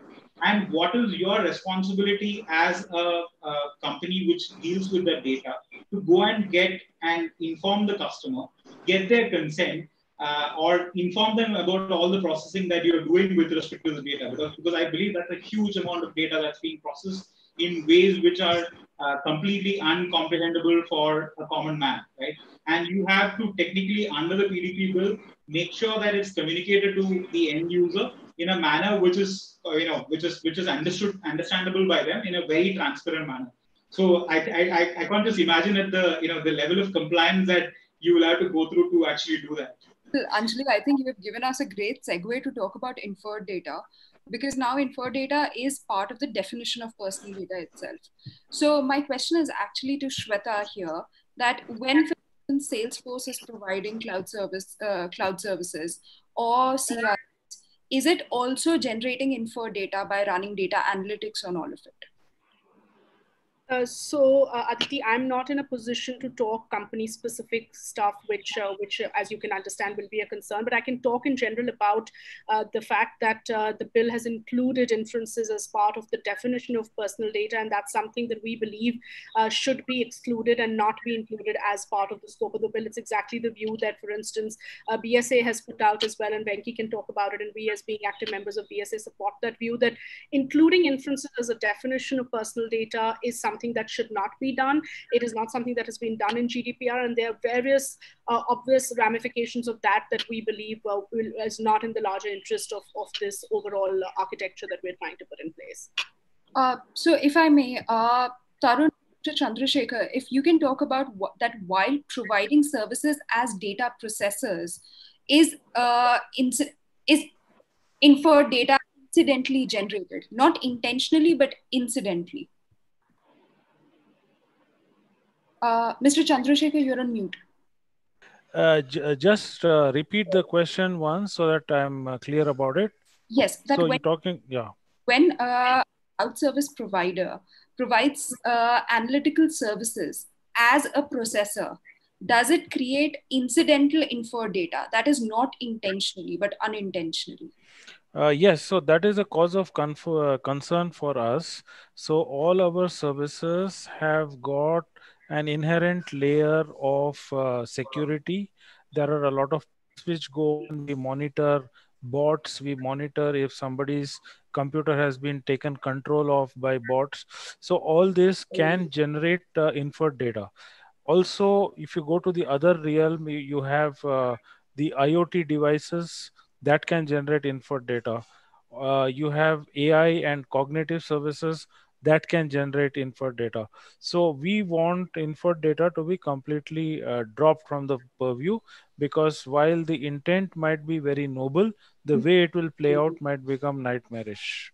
So just uh, jumping in on this, uh, I mean, so this the what uh, Chandrasekhar ended with is the point. I think um, when the in discussion about inferred data comes up, I think a lot of people wonder why, uh, you know, why are we saying it should be excluded? But the question is again, uh, what are we trying to solve here? Uh, it is privacy and personal data protection. So it's not, uh, you know, if a product is coming up because of that, and there are other concerns with that product, we'll need to so- sort it in another manner.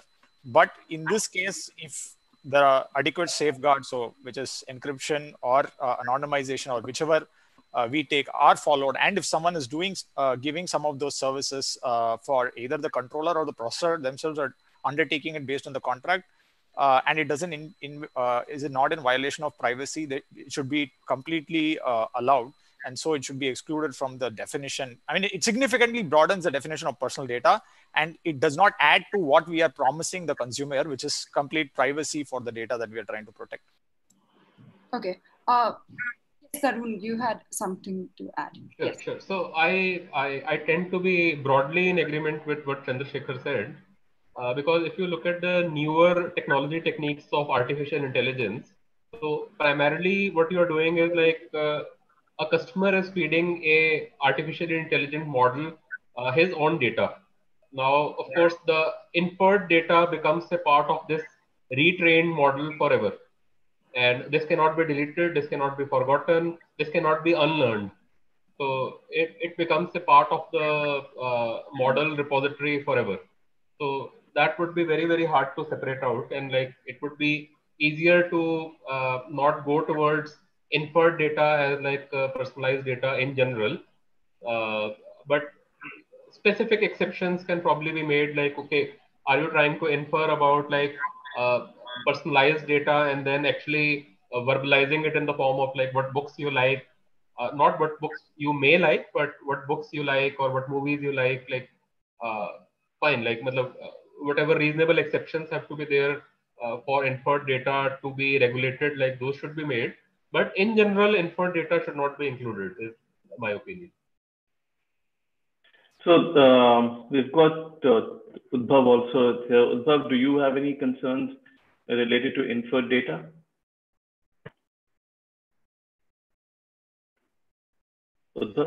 Uh, thanks, Nikhil. Uh, I, I think that um, it's it's a sort of very delicate balancing act because I mean we've already had some conversations on anonymous data and whether something like anonymous data can even exist in the first place and the possible risks that can occur from re-identification and how the bill sort of specifically criminalizes that.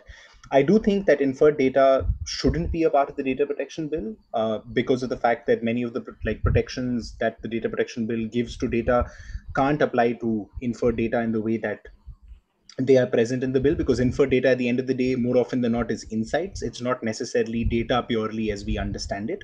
However i don't think that necessarily means that inferred data should not be regulated at all. I think that we've already seen even in the report that the european union came out with just uh, two days ago on how gdpr has been successful there are some sort of concerns that they've also raised on anonymized data and on inferred data and how the fact that they've been completely excluded from the purview of the GDPR has led to some sort of difficulties in enforcement. So we can have a conversation about how to best regulate infer data. That's also a conversation, for example, that AI regulation tends to deal with with regard to transparency and accountability. But I think within the scope of the data protection bill, it's something we should be wary of. The data protection authority should be prepared for. But I don't think we need to see changes in the bill sort of per se to be able to deal with that uh, possibility.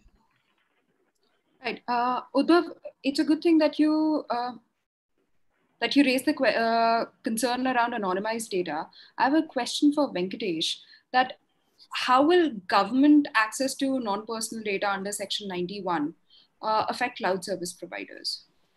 Yeah, so I, I, mean, this has again been a, one of the most contentious uh, provisions uh, that's come up in the 2019 version of the bill.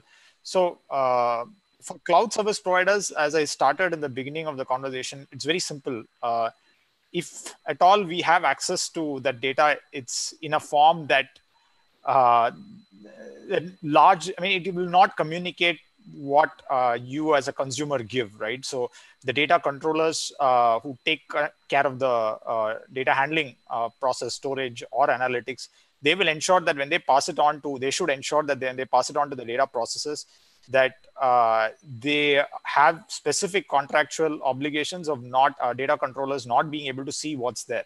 Um, so that way, privacy is guaranteed. So if I'm using a, a cloud storage facility, I have very little idea of the data that I'm handling. Uh, for example, uh, if I'm storing four columns of data, I'm giving a very rudimentary example. One is a sensitive personal information. One is about health. The other is an, uh, maybe an inferred data. Now that example has come up and say two other columns which have something to do with non-sensitive, non-critical and pretty uh, simple data. As cloud service providers, I have no uh, idea how you are categorizing, how the data controller is categorizing all these classes of data. All I get is a dump. At times, I provide, uh, uh, say, analytic service, which let me access certain aspects, but that is also based on what the controller has told me uh, to. So, to, it's out of question to be even in a position to handle. I mean, we don't have sometimes the technology to handle uh, to to infer what is per, what what part of it is non-personal data, and on top of it, if the government does ask for it, it will be impossible, uh, or more more importantly, illegal uh, to give it as well. So uh, it uh, and I think I would also mention that company uh, there have been some recommendations of filtering techniques of how these kind of data could easily be identified. Uh, if if at all companies are doing that, definitely that's also illegal. If cloud service providers are doing it without the knowledge of the controllers, or sometimes even the data subjects need to know this. Right. Uh, so I think that's something that a lot of people have also mentioned that we don't know where the definition of personal data ends and where the definition of non-personal data begins because of this bridge called inferred data. Uh, before moving forward, uh, Nikhil, I wanted to clarify one thing uh, with you. You mentioned that there is no contractual obligation placed uh, to uh, on the data the, on the data fiduciary to have a contract with the data processor uh, did I understand you correctly? I thought under Section 31 there is a contractual. I'm sorry if I misunderstood you. Yeah, I, I, I don't think I said that. I said, look, the contract needs to be very carefully drafted to ensure that um, the lack of uh, definitional clarity of a fiduciary should be taken care of, so that cloud service providers who end up providing services or processing as a service do not end up being um, a data fiduciary. That's what I said. And can I just come in on one bit on the info data point? Um, Go ahead. Uh, sure. Thanks. Uh, thanks for that. So I, I see. I'll, I'll tell you uh, as a perspective of a customer. I think the entire purpose of data protection will be defeated if info data is not regulated, uh, because I think that's going to be the that's literally the uh, biggest tool in the hands of, uh, so to speak, the technology companies, and that's where most likely privacy violations are about to happen, right? But I completely understand the point with respect to the fact that, look, it brings up practical difficulties while implementing or while uh, creating new algorithms or doing big data processing for that matter. So there is a, a very uh, nuanced approach that one could take towards that. And the reason why this problem is really significant under the PDP bill is because of the fact that we don't have a legitimate interest processing under the bill, unlike the GDPR. So currently under the GDPR, because there is a contractual necessity clause and legitimate business interest processing clause, you don't need to necessarily go and take the consent of each and every party because it's a very uh, natural outcome of the processing that you're carrying out. So one problem, a significant problem can be solved by that. Then there are questions about data minimization and other aspects with respect to info data. I think, of course, that's that's legitimate business processing is not necessarily an answer to that. But I think, of course, we need to look further to solve those issues as well. Even I believe in, in EU as well, there have been uh, debates around that uh, on how to handle minimization retention practices for infodata. Uh, so Subhadeep had a bunch of questions. Uh, Subhadeep? Sure. Uh, thanks. Thanks. If you could unmute.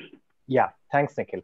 Uh, so yeah, I think primarily I was coming from the perspective of, of sort of what's being discussed, uh, you know, uh, yesterday, uh, which is essentially the fact that the government is talking about scrapping its bulk data use policy, and in the context of what happened with not just with Vahan, but what happened a few months back, right, with respect to the, the sort of the misuse scenarios at the time of the Delhi riots.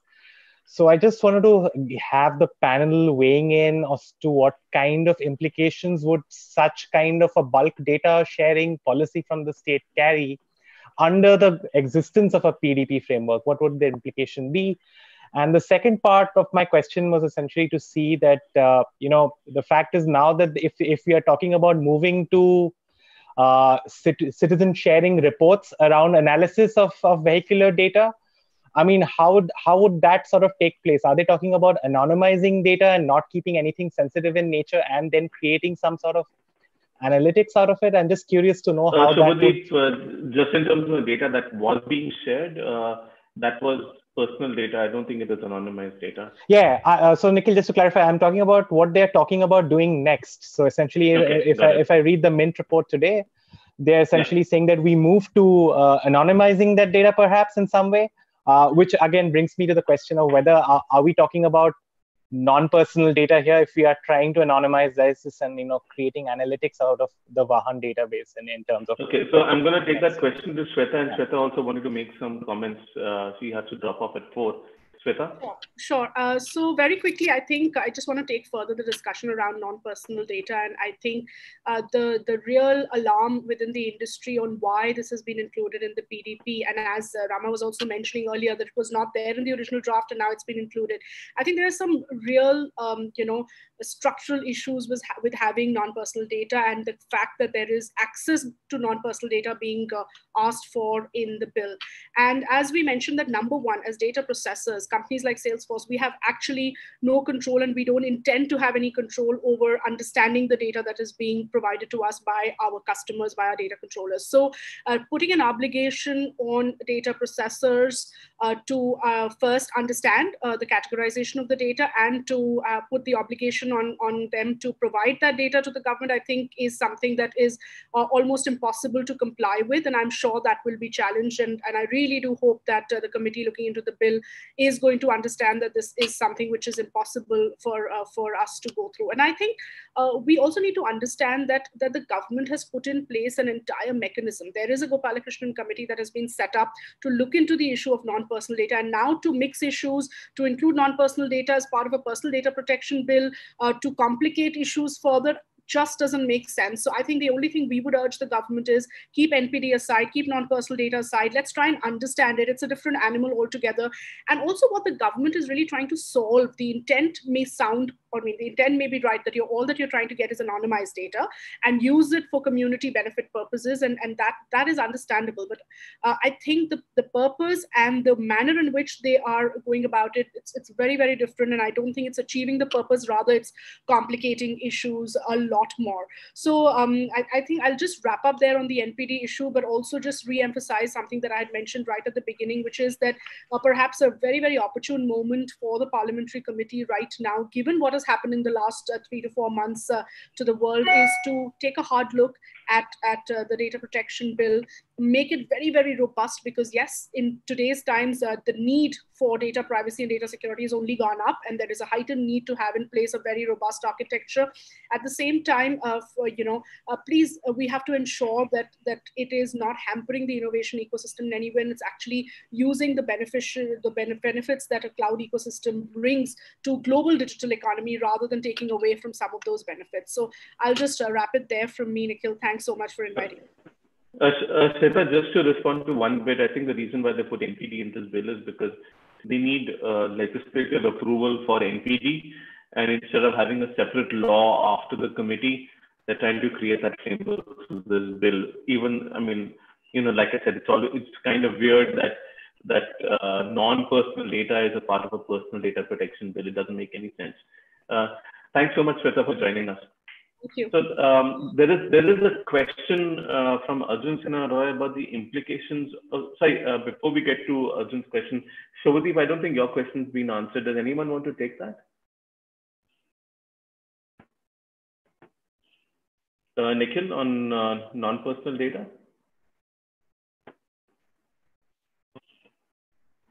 Uh, you, you're on mute, Nikhil. I said I'm, I was unable to find the question here. Uh, Shubhadeep, just for you, do you want to re repeat the question? Uh, sure, sure, shorter version uh, of the question. So hi, Nikhil. So yeah, my question, I think, yeah, just to uh, quickly sort of, you know, take the your sort of understanding of what what quite kind of precipitated yesterday. Now the government has cracked a bulk data sharing policy over, you know, privacy and misuse concerns.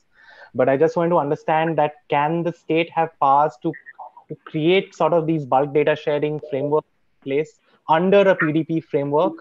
And if so, if in, in terms of the direction in which, let's take the example of the Vahan database, uh, if they are not talking about making citizen reports available, how would that work? In the sense of would it be under the garb of creating an anonymized data sets and analyzing that? Uh, thanks. Yeah, so I think the PDP bill gives the government uh, vast amount of power, and probably it's it's pretty much nothing applies to the government, right? So um, it's uh, so the government can literally create any number of databases and and work under the PDP bill, and it sort of gives them some sort of a legislative sanction as well to do it. Um, so uh, to answer your question, so I think we'll see more of these Vahan kind of database incidents happening uh, very often.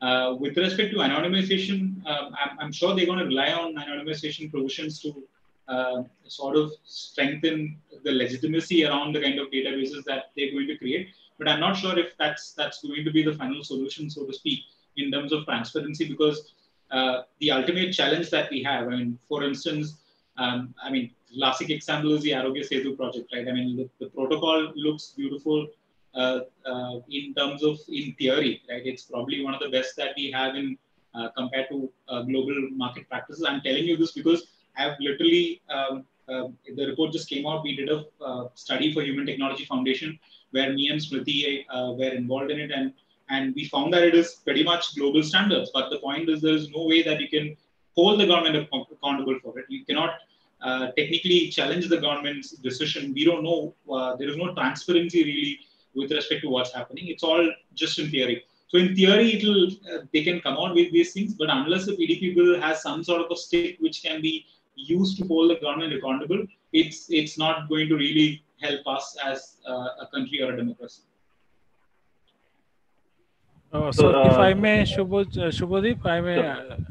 Yeah. So basically, uh, what will happen is that uh, the existing uh, policy frameworks, like there is this open data framework, uh, that will have more personal data nuances. There will be uh, increased use of technology of uh, anonymization, de-identification, etc at the same time there will be much higher level or sophisticated level of analytics to draw insights.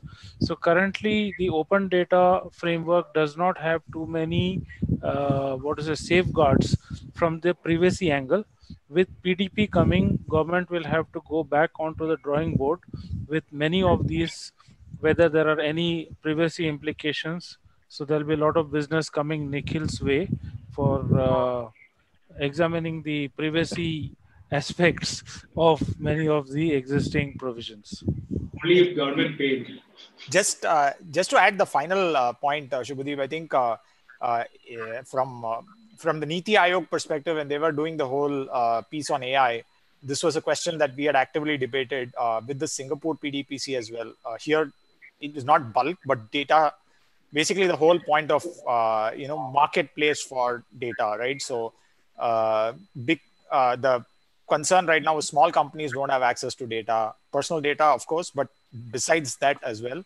Uh, but you don't need to give personal data the way uh, you know it violates privacy. The question is, is there a way we can uh, use some other methods? And I remember Niti Aayog Arnab and a couple of others from the Wadhwani Foundation, we were discussing this in Bombay. So if you're interested, uh, they are struggling with similar questions. So uh, they might have found some answers by now or not. But yeah, that's something to uh, also consider.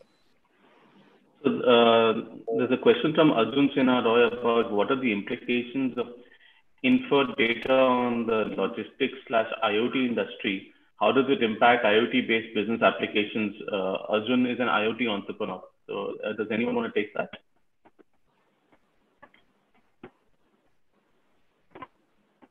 Yes, uh, I can. I can attempt it. Uh, but so see, today there is a a lot of uh, uh, like IoT is just, I mean, you are in the IoT field, it's that wave is just starting. So let me give you a couple of examples which we can visualize.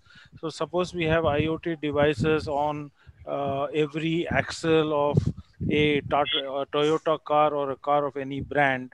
You can infer a lot of data from that how a person is driving, what is his driving pattern, uh, how many times he brakes, does he brake suddenly, does he accelerate suddenly. Now, basis that, the, the insurance premium can change and a lot of things can be inferred about the person's lifestyle and stuff like that. So that takes us into a, a, gray area of a regulatory gray area, whether that kind of data can be shared and how it can be used and whether that input data is going against the privacy of that individual and stuff like that. So I haven't thought through uh, very clearly. I know a couple of use cases like this, which we have been discussing, but how exactly it will play out, uh, I am uh, I don't have the full answers. Aditi, you're on mute. Uh, so during our discussion, we have briefly touched upon to non-personal data. But there's also a significant part of the bill about gov government access to personal data, as well as exemptions from uh, exemptions for processing without consent. So Jyotsna, my question is to you, that under section 12, could data processors also potentially be exempted from seeking consent for processing personal data for the purposes of providing government services? So processors uh, don't need to get consent. The obligation is on the fiduciary. And so this, uh, you know, section 12 that you're referring to is one of the non-consensual grounds that are available to the state. Uh, so to that extent, if, if the data fiduciary, which is the state, and they are processing under 12, then they don't need to get consent. And of course, there won't be anything that would flow onto the data processor.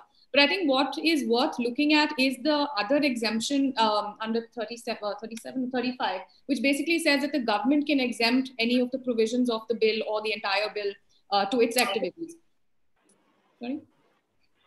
Right. Yes, please continue.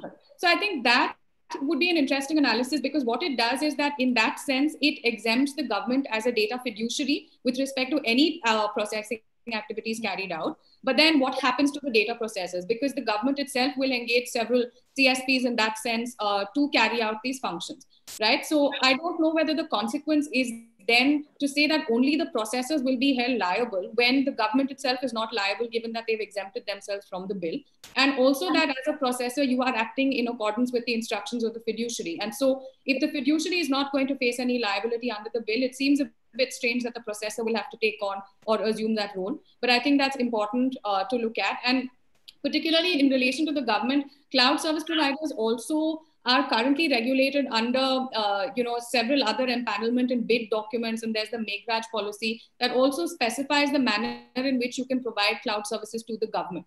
And in fact data localization is one important thing there. It doesn't even go into personal data but it says all data has to be stored in india. So um, i think when you are providing services to the government um, and they have either exempted themselves by way of this section or don't need to get consent, it's important then to see what sort of obligations continue to rest with you as a data processor. Right, because from what I understand, under Section 35, it can only be for a few very specific purposes where provision of government services isn't one of them. But Tarun, but public order is also fairly broad, so I mean, it's it's vague in that sense. Right, understood. Uh, Tarun, you had a comment. So uh, my comment was about the uh, penalties for offences under this act. So uh, like uh, it doesn't seem to uh, treat like uh, so it seems to treat like companies as a whole, and kind of like the language is like looks very problematic to me. It says that like nothing, anything contained in subsection, etc., has been committed by company, and it is proved that with consent, connivance attributable to any neglect on the part of any director, manager, secretary, another officer of the company. So uh, that seems like overtly uh, very, very broad. Like, so uh, I believe like mostly GDPR is like about financial penalties, but over here, like we seem to be dealing with the more uh, non-bailable, cognizable kind of offenses. And uh, neglect would be like a very, very problematic word over here. Like, uh, what, what, what do you think, like Nikhil, about this? So I mean, um, I'm just trying to look at the section. If I remember correctly, see, I think there is there is a need for intention uh, to be there even in that case. I just need to. So I think it's it's the the, the provision is about whoever uh, intentionally re-identifies the data. That's when I think the trigger comes in. I yeah, but I'm apart from intent, there is also neglect, which is a very very passive action. So like yeah. which can obviously be so, I mean, Karan, I have a question back to you. So, I mean, in practice, how much, uh, uh, how how much do you think let is me, Let me give you an example. So, for example, there is a new vulnerability in a database system, right? A zero-day vulnerability. Now, how quickly can a provider react to it and apply the patches to RDS? Obviously, there has to be a window of several days before the customers would be notified and like uh, that would happen. And there could be a small window where uh, uh, like a cloud provider would be within their own lab trying to figure out like what's the real impact of this vulnerability that has been published by uh, some random hacker about a zero day vulnerability. So like uh, would that like uh, come under like neglect? Like so obviously uh, as a cloud provider you're supposed to react fast to a new vulnerability that has come in and potentially, since this is data storage of some sort, we are talking about in a relational database, which could potentially store personal data. Like, uh, where, where do you stand over there? Yeah, so I think I, I took a look at the section while while you were also speaking. So I think uh, the the mention of the word knowingly is a problem because you know you will have knowledge of of the vulnerability, but intentionally uh, is an okay standard in the sense that you're not doing it intentionally. So you should be okay. So probably striking off knowingly the bill. Also mentions like one is knowingly, of course, like if you are knowingly done something, you have gone and stolen data from a customer, by all means you're liable, hang that guy. Uh, but uh, over here it also mentions or is attributable to any neglect on the part of any director, manager, secretary, or other officer of the company. So that's a that's that sort of qualifier to the first offense. So first we need to knowingly or intentionally re-identify, right? And then uh, there was a director who negligently let that happen, then he is liable. That's the way you should read it. So just because of the fact that someone was negligent, you you you may not be. I, I do hope that like uh, the officers of the DPA also read it the same way. Yeah, I'm, I'm sure. I'm, I'm sure. I'm sure. I'm sure the DPA will be qualified enough to read it that way. I'm not sure about the the local level enforcement of that. Uh, so if the police were to handle it, I was not. I'm not sure. Okay, fair enough. Fair enough. Fair enough. Right. So, uh, uh, so, so we are uh, kind of running out of time, and I think this has been a fantastic discussion. Uh, I've asked Aditi to prioritize three questions, uh, after which uh, I guess there are lots of people who have questions, and if anyone would like to stay on, anyone wants to discuss, we'd be happy to bring you into the discussion as well, kind of like an open session. So, the Aditi, go ahead, and then we'll just move to an open session. So my first uh, question is, uh, what concerns do you have vis-a-vis adequacy requirements and how well does this bill perform, uh, say with respect to the Cloud Act in the US or GDPR in the EU? So Jyotsna, we can start with you. Okay, so um, I don't think that we're doing going to do very well uh, in terms of meeting the adequacy um, eligibility under the GDPR at least, and that is largely because of the section that we've been discussing extensively today, which is the ability to um, of the government to exempt itself uh, from the provisions of the bill, which therefore will then leave certain processing of data completely unchecked. So that I think is one of the main reasons why we wouldn't. And other than that, I think data localization may have an impact and also uh, a, a, slightly smaller point, but storage limitation because here um, under the bill, uh, strangely, while you do have to store data only for as long as it is required for the purpose, you can continue to store it longer for uh, when you have explicit consent. So I think that um, these three factors, and of course, sorry, most importantly, also the independence of the authority that is going to enforce the provisions of the bill, uh, given that the latest version of the bill now changes the manner in which the um, DPA will be appointed and uh, the selection committee. I think those are some of the key factors why we are probably not going to be able to meet the adequacy test. Right. Uh, so the second question is. Yeah, I mean, so uh, Aditi, one point I would like to raise is, I mean, uh, for for a lot of the discussions, it is given. I mean, we take adequacy as a given, as in this is a part that we want to continue. Uh, I think uh, some. I think uh, I, I don't remember if Jyotsna. The report from EU GDPR has come out. The Commission has published the report, right? So uh, they. I mean, it's a model that the Commission and EU they have pushed forward, uh, and they themselves know the limitations of adequacy. So. Uh, that is something that we still need to consider that is this the best model that we adopt to the extent we adopt the model, yes, I mean, a lot of the comments that we give is valid, but that rethink uh, is still something we as BSA are pushing for. But uh, yeah, I thought let me just flag that. Okay, uh, Jyotsna, would you respond to that? Yeah, no. So I think that I mean, even if um, the bill recognizes adequacy as one of the grounds as cross-border transfer, as it is recognized in the GDPR, what it does is it couples it with consent. So I don't know what then the benefit of having uh, this sort of a assessment gives if you anyway have to go back and ultimately you are processing it on the basis of consent. And, and uh, I don't see, I, I think that there is still some benefit in sort of mapping whether our framework meets that requirement because those principles are core and important. Uh, and if it is going to keep things in check, such as the government's uh, unchecked access to data, then it's important to look at in terms of a framework to see if, if there is something that we can do that will make us globally recognized as a jurisdiction to which data can be transferred without um, any hindrances in that sense. Right. Uh, my second question is for Anjali. Uh, and how would a telco perform age verification? Because that's a constraint for every data fiduciary under the bill. What verification, sorry? Verification. So age gating, age age related? Uh, uh, that's a very good question. Um, so far, of course, nobody has had to do it. Uh, uh, I think our issue on age verification would be that you just lay down the end objective. Ideally, uh, you should bring the age down from uh, 18 to 16, given the you know digital adoption amongst the youth. Uh, but allow each uh, operator really to devise their own ways and means. So don't do it by way of a mandate that this is how it has to be done and that's the only way. Technology tools, assessing of data, uh, there is a whole gamut of things that need to be considered, you know. So uh, I can't straight upfront answer how it will be done, but uh, we haven't done it so far. We'll have to figure it out. Okay. Uh, so Mr. Chandrasekhar has to leave in another five minutes. So, sir, if you have any uh, final comments before you go. Uh, nothing. Great uh, discussion. Uh, any questions you want to throw at me? I can quickly answer.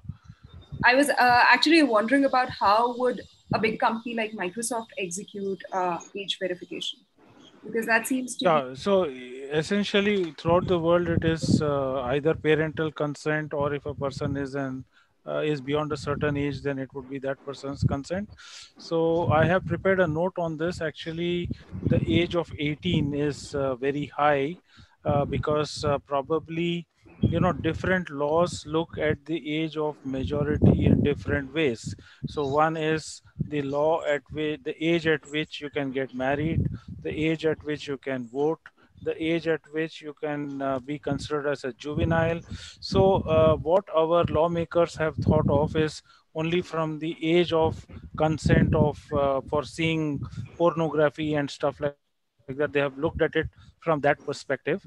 But today uh, in internet, all the school classes, uh, e-learning, uh, people start uh, children start uh, accessing the internet from very young age. So if they have a consent at a very high age like 18 it will become quite nightmarish uh, to actually properly comply with the law and there would be widespread uh, disregard for the law.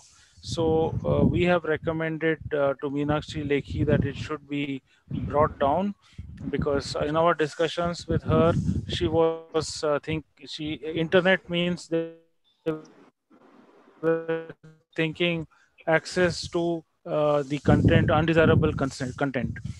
And so for them to bring the age below 18 was something unthinkable. So when we gave them this angle about school children and COVID and the need for younger children to also access and the problem of getting the consent every time you make it so strict. So then nobody is going to follow the law then you might as well not have it. So i think they might uh, take a relook at it. And any last question? Uh, i mean my last question for the session before we open up the floor was to be was going to be to venkatesh that how can a cloud service provider or a telco establish retention data retention periods especially because copies of data uh, stored across the world often. How do you ensure that it's deleted simultaneously? Yeah i mean uh, so i think you end with the trickiest possible question. Uh, this is something we've uh, internally also brainstormed and this came up in multiple discussions with uh, uh, Srikrishna committee and afterwards as well. So uh, I'll start with saying I have no answer for this because this is the exact answer uh, question that has been asked uh, in uh, in multiple rounds in GDPR as well, saying. I mean, just to be candid, the question that GDPR always asked some of the companies I represent is how how I mean, are data controllers being let go? Right? So i think that's kind of the question that comes up. And the the uh, the solution the what data controllers keep sharing is hey you know the data is stored in different jurisdictions. And if you are going to ask i mean if the process uh, the uh, uh, uh sorry a data processes um, being given a lighter hand and data processes are storing all of this in different jurisdictions uh, we cannot function on just a, a, an immediate note from a data controller that all data needs to be immediately deleted and nothing will be there, right? So, so even for this, uh, as we, you have different jurisdictions, I mean, one of the common problems is different jurisdictions have different storage periods as well. So uh, currently what we would propose for this is harmonization and alignment. So if the Indian law is similar to that of GDPR and if the GDPR is similar to that of other laws, what you would have is some sort of a consistent global framework. Of course, there will be local nuances to it. Uh, I mean, uh, there could be a state level variation. So what you're seeing in California is different uh, from, say, what you would see in another state. But uh, with something like this, something as sensitive, which also impinges on consumer rights, it would be have good to have some consistency on all retention laws. Uh, sectorally, it can change. So, for example, the financial sector will have different norms, and then the health sector will have different norms. That is totally understandable in some cases but uh, this again points to the need that you need to have global standards when it comes to key provisions that impacts consumer rights so that's how i'd look at it so i'm, I'm going to pose the same question to uh, uh, to Udbhav and Tarun. Uh, Udbhav, do you want to comment on this? Uh, sorry, would you mind just repeating the, the specific aspect you'd like me to respond to? Aditi? Yes. Uh, so the question was that how do you ensure data retention periods? Uh, how do cloud service providers delete data when copies of data are stored across jurisdictions? Uh, I mean, I think there are two answers to that question. The first one is, at least currently, most cloud service providers tend to fi- uh, provide fairly centralized data management dashboards where you can when you like store a copy of data, including wherever it's backed up or wherever its copies may be present, they do allow the provision that you can assign, uh, like ascribe a lifetime to the data after which the data is automatically deleted, or when certain sort of programmatic logical actions take place, the data sort of is deleted as well. So, for example, if someone deletes an account, all associated data with that account is deleted, and you don't have to manually go and do that each and every time. So that's one way to do it. The second way, uh, which doesn't really have too much to do in, in a world where data localization is not ubiquitous. But in a world where data localization is a lot more common, I think that at the end of the day, it's mostly going to be something that individuals or corporations will have to decide on a sort of per data set or per, per user, depending on which country they are from perspective, because it's possible that the data retention requirements say in india will be different from the data requirement data retention requirements in america right where say in america you need to store a piece of data for 90 days but in india say it's 180 so even if when someone deletes an account you need to now retain that data for different periods of time. And more often than not cloud service providers or third party companies provide plugins or services that actually automate a lot of this for you. So you can literally select on a drop down box that the data sets coming from this account are from say india and it will automatically apply the data retention logic to that. So it's a combination of some manual intervention and also automated solutions. So just to complicate this well so, so, so, so one solution might be what uh, India has done in its submission to the OEWG, right? Uh, which is uh, basically about uh, uh, saying that, that, that they want sovereignty to extend to data being stored anywhere in, in the world. Um, sorry, I, I, I, think Jyotsna has to leave. Jyotsna, would you have any uh, comments before you leave? Any any particular concerns or that no, you want to highlight? No, Nikhil, and I, I don't want to sort of uh, disrupt the flow that's going on now. But thank you so much for having me on. I'm sorry I have a call at 4 uh, 4:30, so I have to drop off. But thank you very much, and it was great being part of this discussion. Thanks, Joseph. Uh, so, uh, so Siddharth has put in a bunch of questions. Uh, Siddharth, do you want to unmute yourself and ask some questions? Siddharth? Uh, yes, uh, yes. Can you hear me? Loud and clear. Uh, great. Uh, so um, I think uh, one of the questions that I wanted to ask was uh, this was actually uh, for uh, Jyotsna, but I think she's left now. Uh, but this is to all panelists now, which is would it be fair to suggest that a strict reading of section 35 of the bill would allow exemptions to all personal data except sensitive personal data since spdi is defined specifically under the bill? So to so would it be fair to suggest that spdi uh, this exemption does not uh, apply to sensitive personal data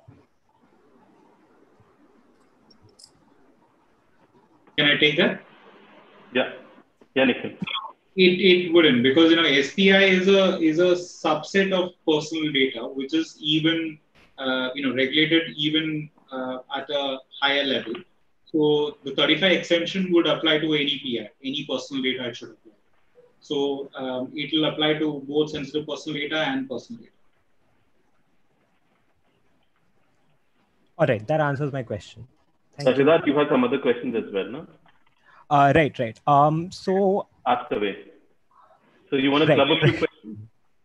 Um, yeah. So um, I was wondering what kind of liability would accrue on telcos if um, age verification processes are sort of bypassed by data principals using uh, virtual private networks. This, I mean, if it could be answered one at a time, it would be great. So that just okay. That's a tricky question sorry, uh, age verification bypassed by telcos? No, no. Uh, uh, his question is that, that if, let's say, uh, someone bypasses age verification requirements by using a VPN.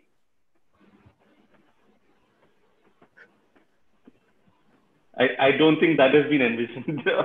Nobody's even thought of that so far. can, I just, can I just uh, come in here? I mean, That's a great question. So this is a question that I, I know I, I had earlier as well, right? I mean, when you talk about age verification by the telcos, right? The one instance or one uh, place where I can think of an age verification is when someone takes a SIM or a landline connection, right? That's the only place where I can think of a telco doing a age verification. Or am I completely mistaken? Is, are there other places where you need to do that? So just to uh, broaden the question, if you could also think of intermediaries generally and or, or like let's say with respect to certain yeah. applications that uh, could be as services rendered subsequently perhaps which may require age verification at that moment if i'm not wrong fair enough fair enough so i think so uh, to answer the first query which is telco so i think it's there is a clear defined process by the dot which includes uh, what's known as the dkyc mechanism or digital kyc mechanism which requires your live photo which requires your proof of identity, which is Aadhaar or some other card, and then you, then can you get a uh, um, uh, you know telecom connection. So which means date of birth as well. Yeah, it's very difficult to bypass that. To answer your second query, which is a much more uh, broader aspect per se, uh, you know, I, like I said, it's it's uh, I really haven't thought through this. Probably we can connect offline and and uh, we can try and come up with the answers on on the liability per se. Just like a sort of just super short response on that though but like i think intermediary liability would continue to apply to entities like telcos. So if like if i say it's just like if i carry out an illegal act using end-to-end encryption it doesn't mean the telco or the intermediary is liable for it. If i bypass age verification using a vpn i don't think the telco or the intermediary responsible for enforcing that age verification should be liable for it at least currently under india's intermediary liability regime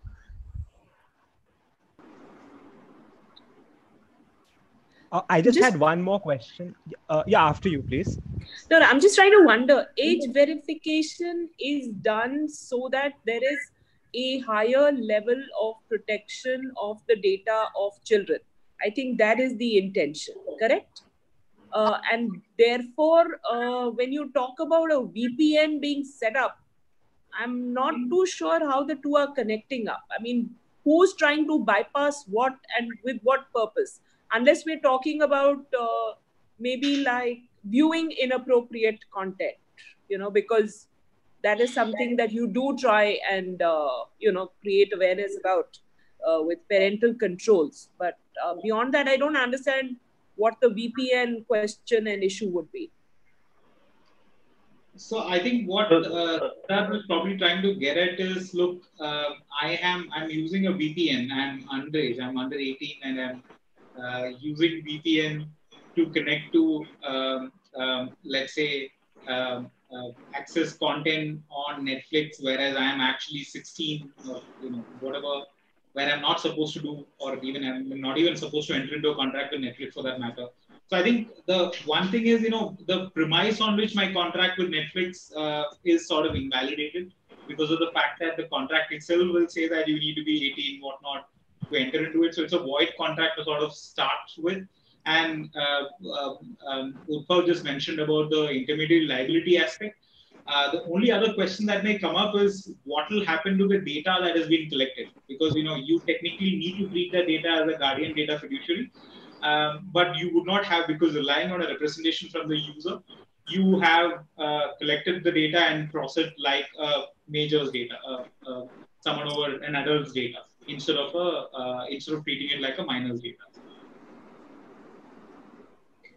Yes, so liability can't be attached in such a case. Yeah, I would, I would, I would think think so too. But I think we probably need to uh, dive a bit deeper and figure out what are the best practices that one could approach on take on that. Siddharth. Thank you. That answers my question. Thanks, Siddharth. Uh, Udbhav, you wanted to um, make a point about something. Yeah, uh, thanks, Nikhil. Uh, so this, I just wanted, and like it's been dis- like brought up in the conversation before, generally about uh, adequacy. Uh, Nikhil, I'm signing off now. I need to get on to something else. Thank you so much. Uh, thanks, Anjali, for being here, and thanks. Uh, yeah. Thanks, Tarun as well. Tarun also has yeah. to be. Thanks, Anjali. Thank you. Bye bye. So, Nikhil, I'm also making a move. thanks, Frankie. Okay, thank you. Thanks a lot. Thanks for the participants as well. Thanks, thanks, thanks. So this is now just a, just a uh, conversation from people who are geeky about this. Anyone who wants to join in, please just raise your hand and uh, Arun can bring you in. Uh, yeah, so just super quickly, uh, like I, I just think, because I also think like people may want to leave, uh, is about uh, it, has been brought up in the discussion before, but I think that when it comes to B2B providers, one of the sort of least discussed aspects of the bill is certainly this argument around how the government has the power to exempt certain B2B providers who process data of foreign individuals in the territory of India from any aspect of the bill. Because uh, when it comes to even conversations like adequacy, it's a very dangerous provision because what it says is that we have a data protection law and we will get adequacy for processing foreign data but we can also not apply any part of this data protection law to any data that is of a foreign entity and is therefore not of indian. So i think that there are certain aspects of uh, the bpo and the outsourcing industry in india that have like that are for that provision but i think if you look at it holistically the harms of that provision are, are far outweigh any of its real possible benefits because i fail to see if that is a part of the main law how somebody like the european commission or any other country that may want to gain adequacy with us or certify us in any other way would ever be okay with that. So uh, I, I think it's okay for the the the principle behind that provision to be present in the law, but I definitely think that the extremely wide leeway that is currently given to the government to completely decide how to exempt any foreign entity from any part of this bill applying when it's when it's about non-Indian citizen data really needs to be relooked at.